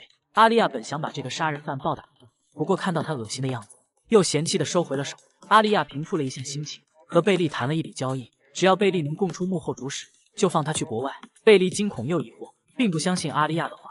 阿丽亚不屑耻笑道。如今的贝利就像是一条过街老鼠，除了同意提议，还有什么别的选择吗？劳斯特伯爵府内，侍女不解的看着小姐这几天的举动，准备马车和干粮，是打算去旅行吗？可是马车却很破旧，阿丽亚却说要送一个有去无回的人。安妮被弄得有些摸不着头脑。贝利如约而至，寻求阿丽亚的庇护。阿丽亚要求贝利在大厅当众拆穿幕后主使，可贝利却还是很犹豫。阿丽亚将马车展示给贝利看，只要说出真相，事成后立马就可以远走高飞。随后为了安抚贝利的精神。阿丽亚故意装出一副甜美温柔的样子，夸赞贝利的聪明，只是选择出现了错误，遭受了不白之冤。贝利在几天的精神折磨下，早已疲惫不堪。如今被阿丽亚这般安抚，果不其然，很快上当。众人看见贝利现身，十分恐惧。尼埃尔更是强烈要求把贝利赶紧抓走。贝利却说有真正的幕后主使。阿丽亚顺势让众人放开他。贝利说出自己毒杀阿丽亚时，内心反复挣扎。阿丽亚也配合着，装出一副理解贝利的样子。众人都可怜起贝利来。随即，贝利说出给自己毒药的幕后真凶，正是艾玛。场面一度十分混乱，众人议论纷纷。艾玛忍不住冲到贝利的面前，抓起贝利的衣领，破口大骂。尼埃尔表情更是害怕极了。阿利亚在一旁默默的看着，脸上的笑容用手遮都遮不住，因为巨大的快乐，身体都忍不住抖动起来。好哥哥卡因居然以为妹妹是害怕，赶忙搂住阿利亚，轻声安慰。阿利亚虽然心里鄙夷，但脸上还是装出一副柔弱的样子。为了坐实艾玛的嫌疑，贝利甚至说出了自己私藏的毒药。可以查到购买源，就连阿利亚也不得不佩服起他的心思缜密。阿利亚替贝利求了情，给自己营造出善良小姐的标签，之后便履行诺言，把贝利送上了马车，并嘱咐贝利要时常寄信。不过，美丽善良的阿丽亚小姐真的会轻易放过伤害过自己的人吗？不久后，安妮吐槽贝利还真的有脸寄信回来，不过阿丽亚却微微一笑，因为信的内容是贝利已经被处理掉了。很快迎来了艾玛的开庭，虽然大局已定，但阿丽亚还是决定亲自前往现场。法院审判厅里。跪在地上的艾玛一言不发。由于罪行严重，除非阿丽亚亲自替艾玛求情，否则艾玛不会降罪。众人议论纷纷，觉得这位阿丽亚小姐和传言中有很大的差别。心地善良的她应该会原谅艾玛，不过阿丽亚却坚定的拒绝了。人善被人欺，随着法官的一锤定音，艾玛被判处绞刑。米埃尔终于忍受不住，瘫痪在了座位上。阿丽亚看似安慰的凑到米埃尔的身边，却微笑的告诉米埃尔，自己早已知道是谁指使的。阿丽亚看着米埃尔惊恐的表情，自己的这位好妹妹，就算如同母亲一样的贴身侍女出身，也要保持形象，一句话也不说，还真是铁石心肠呢。此时座位席上的莱恩突然站起来，提出要送米埃尔去医院。顺便把小纸条偷偷给了阿丽亚，阿丽亚循着地址出去，卡因却悄咪咪跟了一路。阿丽亚内心无语，只能装出温柔的样子和卡因说话。就在这时，亚斯从后面凑到阿丽亚的场面顿时尴尬起来。阿丽亚只好打了卡因，告诉他亚斯是皮诺鲁公子。卡因被成功打发走了，不过亚斯却打翻了醋坛子，立马和阿丽亚表明心意，不管阿丽亚怎么样都会相信他，并为自己之前的粗鲁行为道歉。等到阿丽亚回到家中，心里暗自甜蜜，觉得亚斯吃醋的行为可爱极了。不过另一边，米埃尔就没那么好受，因为艾玛的死，甚至让他不理会别的女仆。女仆们因为米埃尔的偏见很不舒服。阿丽亚趁此机会俘获人心，又是安慰女仆，又是给他们送礼物，俘获了一大票粉丝。不过阿丽亚觉得还不够打击米埃尔，毕竟米埃尔还有个未婚夫呢。不过现在自己有了亚斯，第一次想那么认真对一个人。皇太子寄来的信却被卡因拦截，好在小侍女聪明搪塞了过去。阿丽亚在心里盘算着暴露投资者的身份，顺便利用亚斯在众人面前抬起头。不过一想到要利用爱的人，阿利亚的心里顿时不舒服起来。米埃尔因为艾玛的事情，终于要忍不住了吗？阿利亚回家后，极力解释着和亚斯只是朋友，还给亚斯捏造了皮诺鲁的身份。卡因却喋喋不休，始终不愿意相信。父亲更是决定给阿利亚找未婚夫，把阿利亚搞得一个头两个大。很快，阿利亚要寻找未婚夫的消息就被传得沸沸扬扬，各家公子哥们纷纷下拜帖拜访。阿利亚满脸低沉，好在卡因在中间阻止，虽然目的也并不是那么单纯。莱恩登门拜访。此时的劳斯特伯爵已经为找女婿癫狂，竟然误认为莱恩是来追求阿利亚的，把莱恩吓得够呛。毕竟自己可不敢抢皇太子的老婆呀。饭桌上，米埃尔提出要父亲帮助宫女，父亲却拒绝了。宫女作为贵族派的首领，正在被皇太子打压，此时置身事外才是最好的选择。米埃尔却不甘心，自己已经和奥斯卡订婚了，父亲怎么能一点也不帮助？看着米埃尔激动的情绪，阿丽亚却漫不经心的提出，希望米埃尔不要给父亲压力。终于把米埃尔气得对他吼了出来。阿丽亚得逞一笑。随即戏精附体，嘤嘤哭泣起来，成功赢得了大家的安慰。米埃尔气急败坏去找奥斯卡，奥斯卡只能一番劝解，表示公爵不出手相助可以理解，姐姐艾希斯有另外的计划。米埃尔在未婚夫面前又变回温柔善良的样子，奥斯卡的内心却很挣扎。以自己对姐姐的了解，再加上未婚妻这段时间不断和姐姐联络，很有可能毒杀阿丽亚，是两人联合的。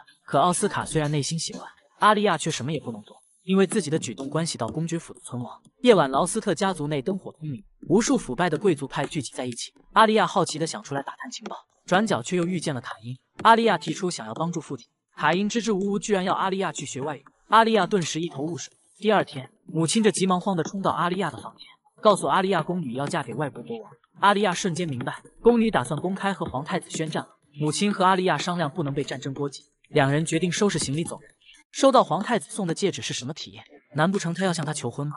因为宫女打算公开和皇太子宣战，阿丽亚母亲打算去国外，并劝解阿丽亚不必讲情。阿丽亚却犹豫了。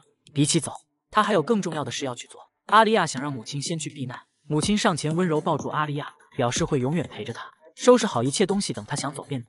阿丽亚微笑的看着母亲，也正因为有这样坚强的后盾，才更有前进的理由。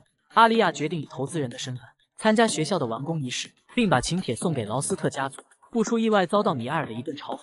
母亲也很意外，不明白阿丽亚在这样的局势下，为何沾染和皇太子有关的研讨。不过阿丽亚微微一笑，她心意已决。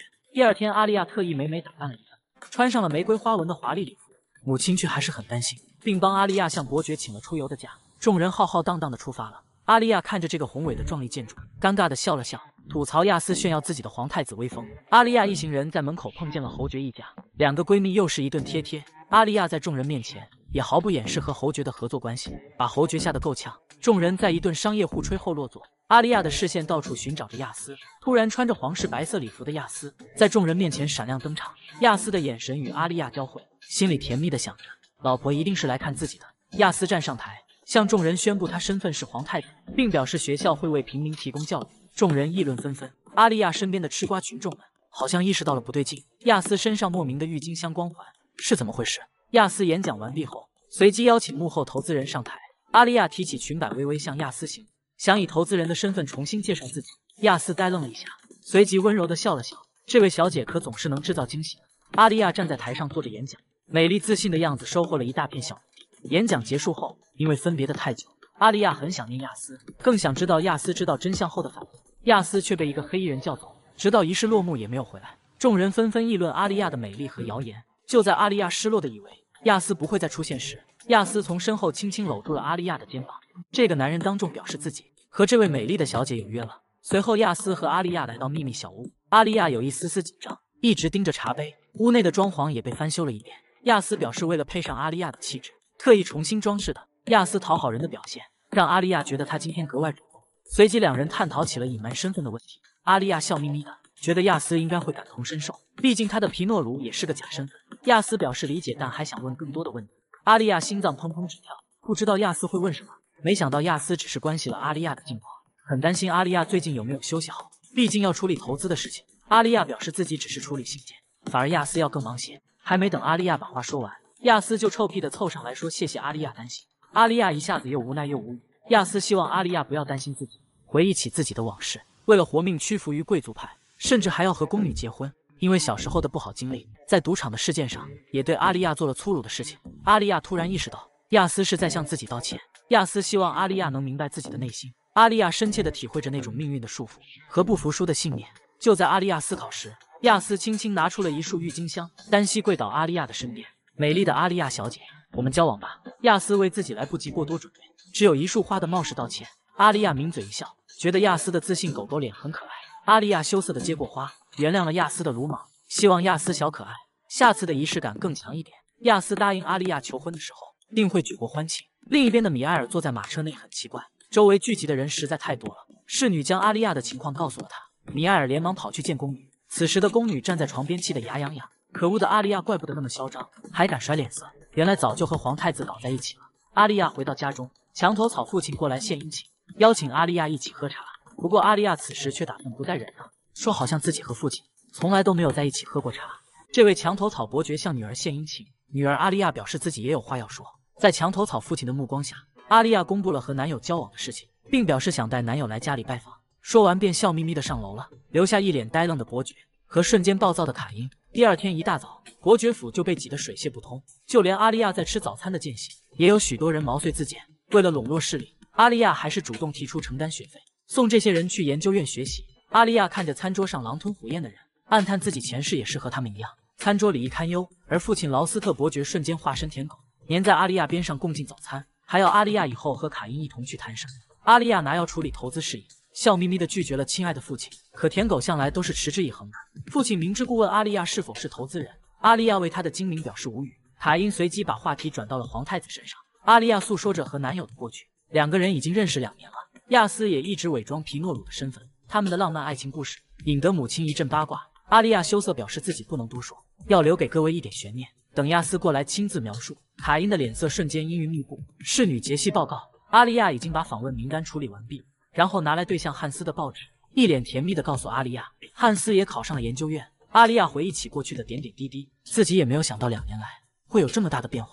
可米埃尔和艾西斯就好像卡在脖子里面的刺，如今的自己再也不会害怕他们，而是兴奋于未来的斗争。不过另一边的宫女也没有闲着，米埃尔奋力的说着好话，告诉宫女皇太子从未出现在府内，两人一定是谣言。宫女淡然的喝着茶，表示两个人一定不能结婚，否则就是对贵族的侮辱。宫女决定要提前米埃尔和奥斯卡的婚礼。米埃尔瞬间一脸兴奋。夜晚，杰西再一次甜蜜地谈论起汉斯。阿丽亚看着开心的侍女，前世的杰西对自己也是忠心耿耿。不过，为什么看上汉斯那个穷小子？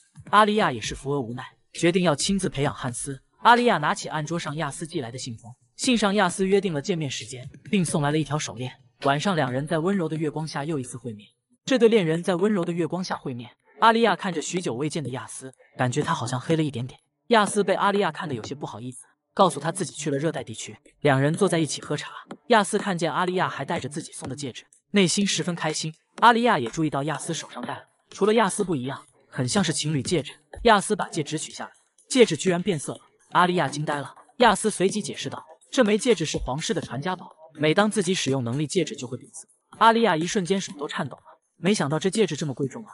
亚斯温柔地握着阿丽亚的手说：“只有阿丽亚才配得上这枚戒指。”阿丽亚瞬间羞红了脸。一番甜蜜过后，阿丽亚与亚斯谈论起正事。莎拉想要来研究院当礼仪老师，想到莎拉背后的中立派侯爵，夫妻俩一脸伤人的奸诈脸。亚斯想要阿丽亚见一见判官，阿丽亚内心却不想见不熟悉的人。几天后，亚斯向伯爵府寄来了皇室信封，伯爵府急忙忙活了起来。米埃尔却很不爽，嘲讽阿丽亚不自量力，幻想成为太子妃。阿丽亚丝毫不退缩，三十年河东，三十年河西，自己总比米埃尔和某些叛国贼强，瞬间把米埃尔气得说不出话。这天，亚斯坐着豪华马车前来伯爵府，阿利亚一家人站在门口迎接，情侣俩一顿肆无忌惮的撒狗粮，连侍卫都看无语了，提醒亚斯注意力。劳斯特伯爵被亚斯亮瞎了双眼。众人在户外就餐，塔因和米埃尔虽然不爽，也不能表现出什么。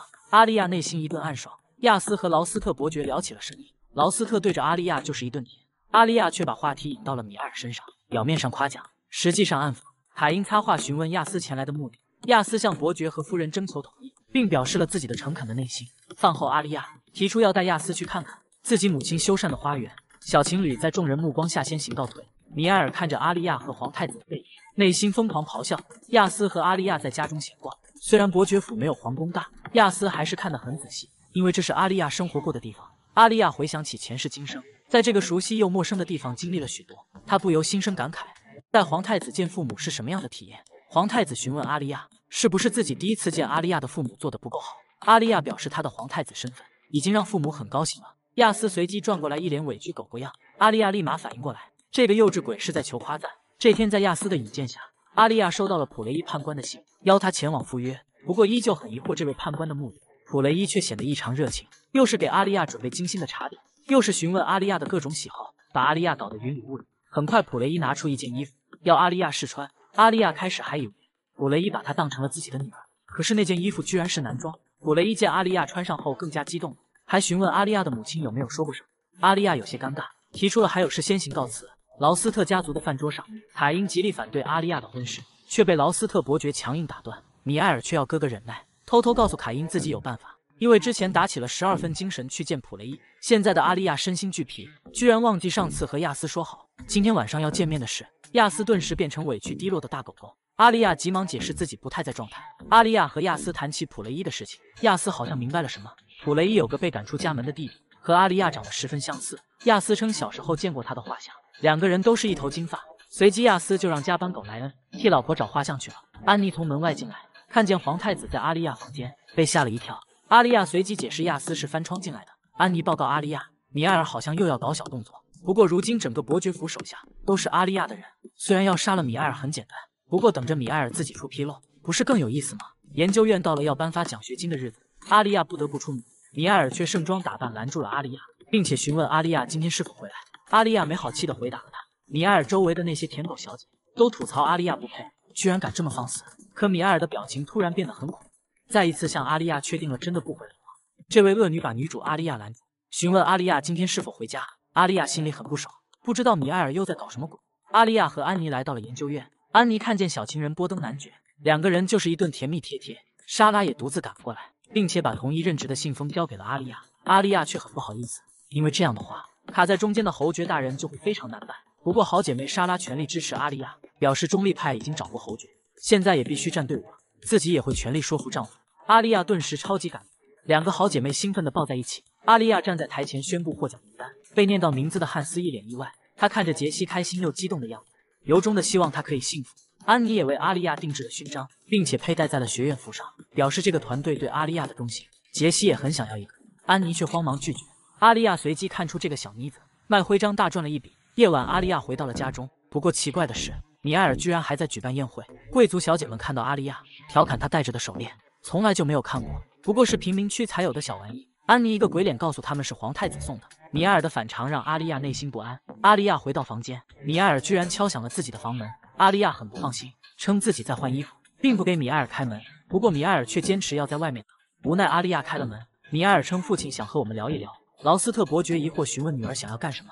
米埃尔慢慢转过头，一脸阴暗的看着父亲。在劳斯特和阿丽亚的惊慌眼神中，劳斯特被米埃尔推了一把，随即从楼梯上滚了下去，因为要抓住阿丽亚的手，把手链扯断了。米埃尔突然高喊：“阿丽亚！”把父亲推了下去。阿丽亚一脸震惊，觉得米埃尔一定是疯了。亚斯从窗口冲了进来，抱住了阿丽亚，眼神狠狠地看向米埃尔。众人听到了声音，慌忙前来，场面一度十分混乱。阿丽亚从睡梦中猛地惊醒，亚斯坐在床边，告诉他这里是森林木屋。把阿丽亚带出来的时候，他已经昏过去了。阿丽亚慌忙寻找自己的沙漏，想要把时间调到事情发生前，不过胸口的怀表却不见了。就在阿丽亚着急之时，她突然间想到，真的可以把时间逆转回去吗？这个恶女心狠手辣，把自己的亲生父亲推下楼，还嫁祸给姐姐。被皇太子救走的阿丽亚冷静下来，就算现在用沙漏逆转时光，虽然自己可以留在小木屋，但是亚斯不行。何况自己的手链也会留在楼梯口。哪怕不给米埃尔开门，米埃尔也会把父亲推下楼嫁祸给他。当阿丽亚答应的那一瞬间，就已经中计了。阿丽亚随即询问亚斯为什么会突然出现。亚斯称断了的手链有自己的魔法，可以预感到阿丽亚的危险。亚斯看着阿丽亚很苦恼的样子，心生愧疚。阿丽亚看着为自己担惊受怕的男友，抱怨的话怎么也说不出口。两人紧紧的抱在一起。亚斯听阿丽亚阐述了米埃尔的计划，决定帮老婆渡过难关，利用旅游制造不在场证明，顺便度一个小蜜月。另一边的小绿茶米埃尔。装出一副小可怜的样子，把锅全甩在了阿丽亚身上。虽然仆人们都不相信，但也止不住流言蜚语。医生诊断出伯爵还有脉搏，米埃尔顿时慌得不行。国境边界的子爵慌慌张张地接到消息，赶忙前来接见皇太子殿下，却看见殿下带了一个漂亮老婆。两个人因为临时出行决定赊账，子爵连忙表示由他请客。阿丽亚微微一笑，和亚斯散发着无处安放的魅力。真正的贵族怎么会做白吃白喝这种事情？何况这些赊账账单和时间都将成为他们自证清白的好东西。夜晚，阿丽亚在微微小酌了一杯，醉醺醺的在子爵家散步。推开门，发现亚斯坐在庭院里。亚斯看着阿丽亚通红的小脸，询问她是不是生病了。阿丽亚轻轻蹭了蹭亚斯的手，觉得凉凉的，很舒服。亚斯顿时害羞的让阿丽亚早点回去休息。阿丽亚故意有些疑惑的问：“不是有你在吗？”听到阿丽亚的话，亚斯强忍着心中的躁动。阿丽亚看着亚斯的反应，觉得他可爱极了。柔和的月光下，两人聊起了天。亚斯刚刚去首都得到消息，阿丽亚已经被告到了警备队。现在得赶快离开边界，制作更多的不在场证明。阿丽亚却惊讶于亚斯可以频繁使用能力，很担心亚斯的状况。亚斯却表示自己身体很好，不过是小距离移动而已。亚斯让阿丽亚注意早点休息。阿丽亚小可爱却靠在了皇太子身上，皇太子的嘴角顿时微微上翘。这对小情侣因为要制作更多不在场证明而出来度蜜月。第二天，阿丽亚和皇太子向子爵辞行。就在两人走后，传来官府的通缉令，居然是阿丽亚昨晚杀了伯爵父亲。子爵顿时摸不着头脑。明明昨晚两人还在这里啊！马车里的亚斯突然抱起阿丽亚，飞上了天。阿丽亚再一次惊讶，亚斯又使用能力。亚斯伸出手邀请阿丽亚散步，两人手拉手享受来之不易的悠闲时光。到了集市，亚斯买了两个黑色披风，没有办法，老婆太好看太显眼。阿丽亚兴奋地喊着亚斯看魔术表演，亚斯一瞬间晃了神。两个人在集市上尽情的玩耍。亚斯询问阿丽亚，之前好像不是很喜欢我？阿丽亚回想起从前，自己贫穷又遭受讨厌，除了一个同样脏兮兮的小男孩。邀请自己做他的伙伴，小女孩天真的询问男孩可以吃几个烤肠。阿丽亚的表情在回忆中逐渐变得落寞。亚斯感觉到了他的不对劲，出声安慰。阿丽亚望向亚斯，很感谢亚斯能邀请自己一起散步。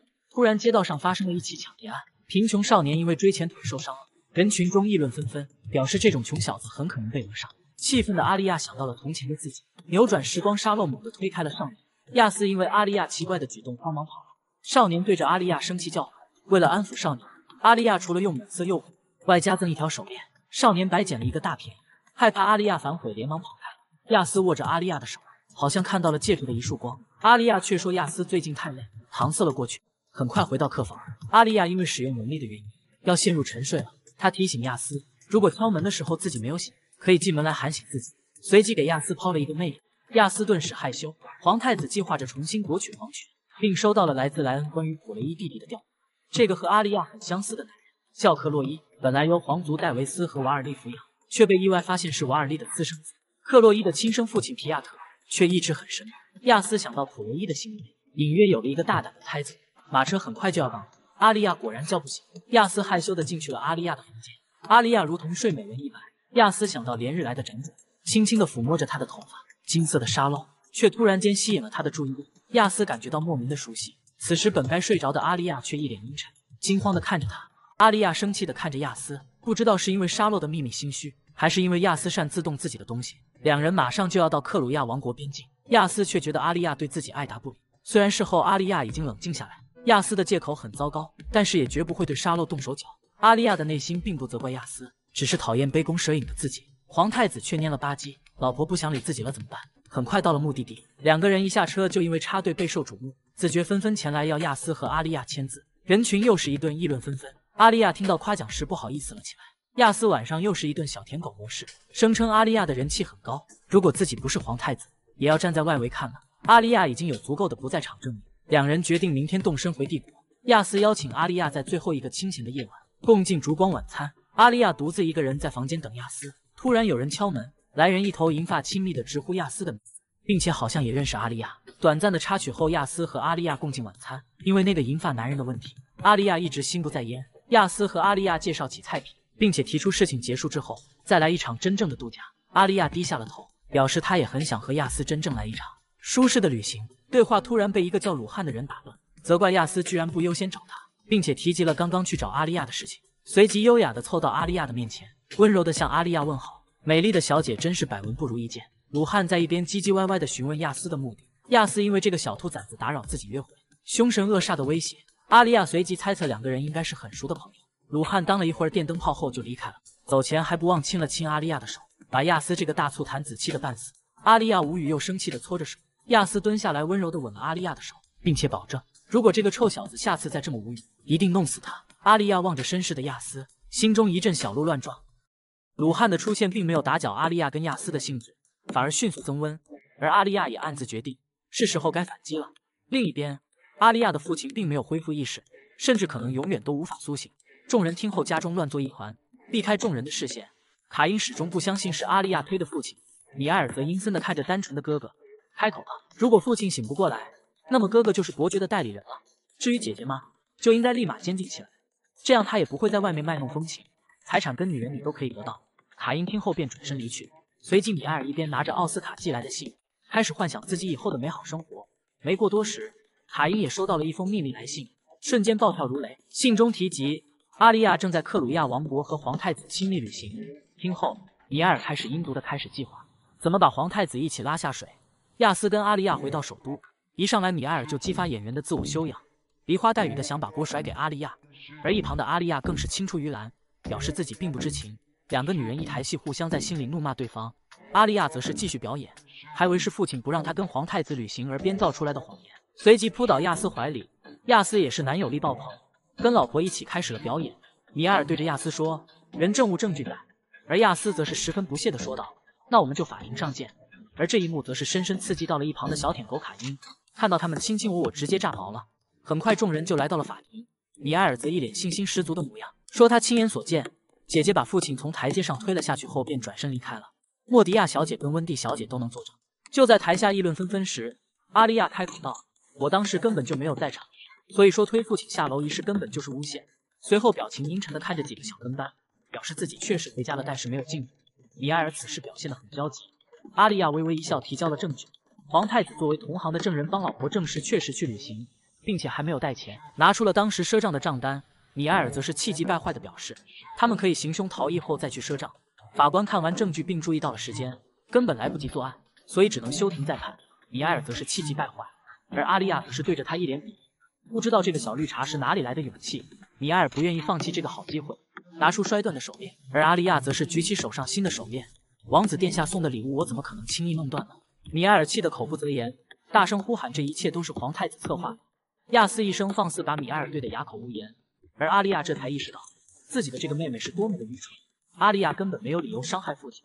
吃瓜群众纷纷倒戈阿利亚一方，毕竟阿利亚日积月累的口碑也不是能轻易击败的。此时此刻，不禁让他想到自己前世，只是现在角色对调。米埃尔因为被皇太子一声放肆，吓得瑟瑟发抖，处在原地不敢动弹。人群中也是议论纷纷。米埃尔回头看向自己的哥哥。谁知道卡因居然因为害怕，被以为是同谋，瞬间就把头转了过去。真的是继承了罗斯特伯爵的优良血统。此时的卡因大脑也在疯狂运转，权衡着利弊。就算是米埃尔被拘留，我也能可以把他保释出来。反正现在我才是伯爵的代理人。此时就连小跟班也反水，看着众人都要把他推入风口浪尖，米埃尔大声说道：“还有一个目击证人，就是皇太子殿下，是皇太子用了魔法带走的阿丽亚。”阿丽亚听后连连叹气道，觉得米埃尔可能是有精神疾病，所以产生了幻想。毕竟当天大家都玩到很晚，也许那天的派对压根就没有那么重此时亚斯也，也许是服用了贵族圈里长期秘密流行的致幻剂也说不定。此言一出，台下更是议论纷纷。此时小跟班也是附和道：“当时也只是看见了一个有着金色长发的背影而已，也许并不是阿丽亚。”米埃尔愣在原地。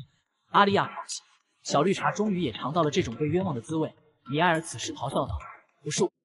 可是事到如今，又有谁会相信他？法官当即宣布要彻查，但是参加舞会各位小姐是否携带过致幻剂。当即休庭。阿丽亚走出法庭后，就收到了所有人的关心。好闺蜜莎拉甚至泪如雨下，反而米埃尔气倒在地上，却没有人去看一眼，就如同前世的阿丽亚。不过这也都是他咎由自取，真是咎由自取。现在也不过是风水轮流转。阿丽亚转眼间一回到府邸，佣人们纷纷上前嘘寒问暖，而阿丽亚则是来到了父亲的房间，看到父亲一动不动躺在那，阿丽亚不禁想开口询问问父亲：此时境况，你又会想保全那个女人？曾经你把我的功劳全部归于米二，如果你现在还是如此把脏水往我身上泼，那我将不死不依。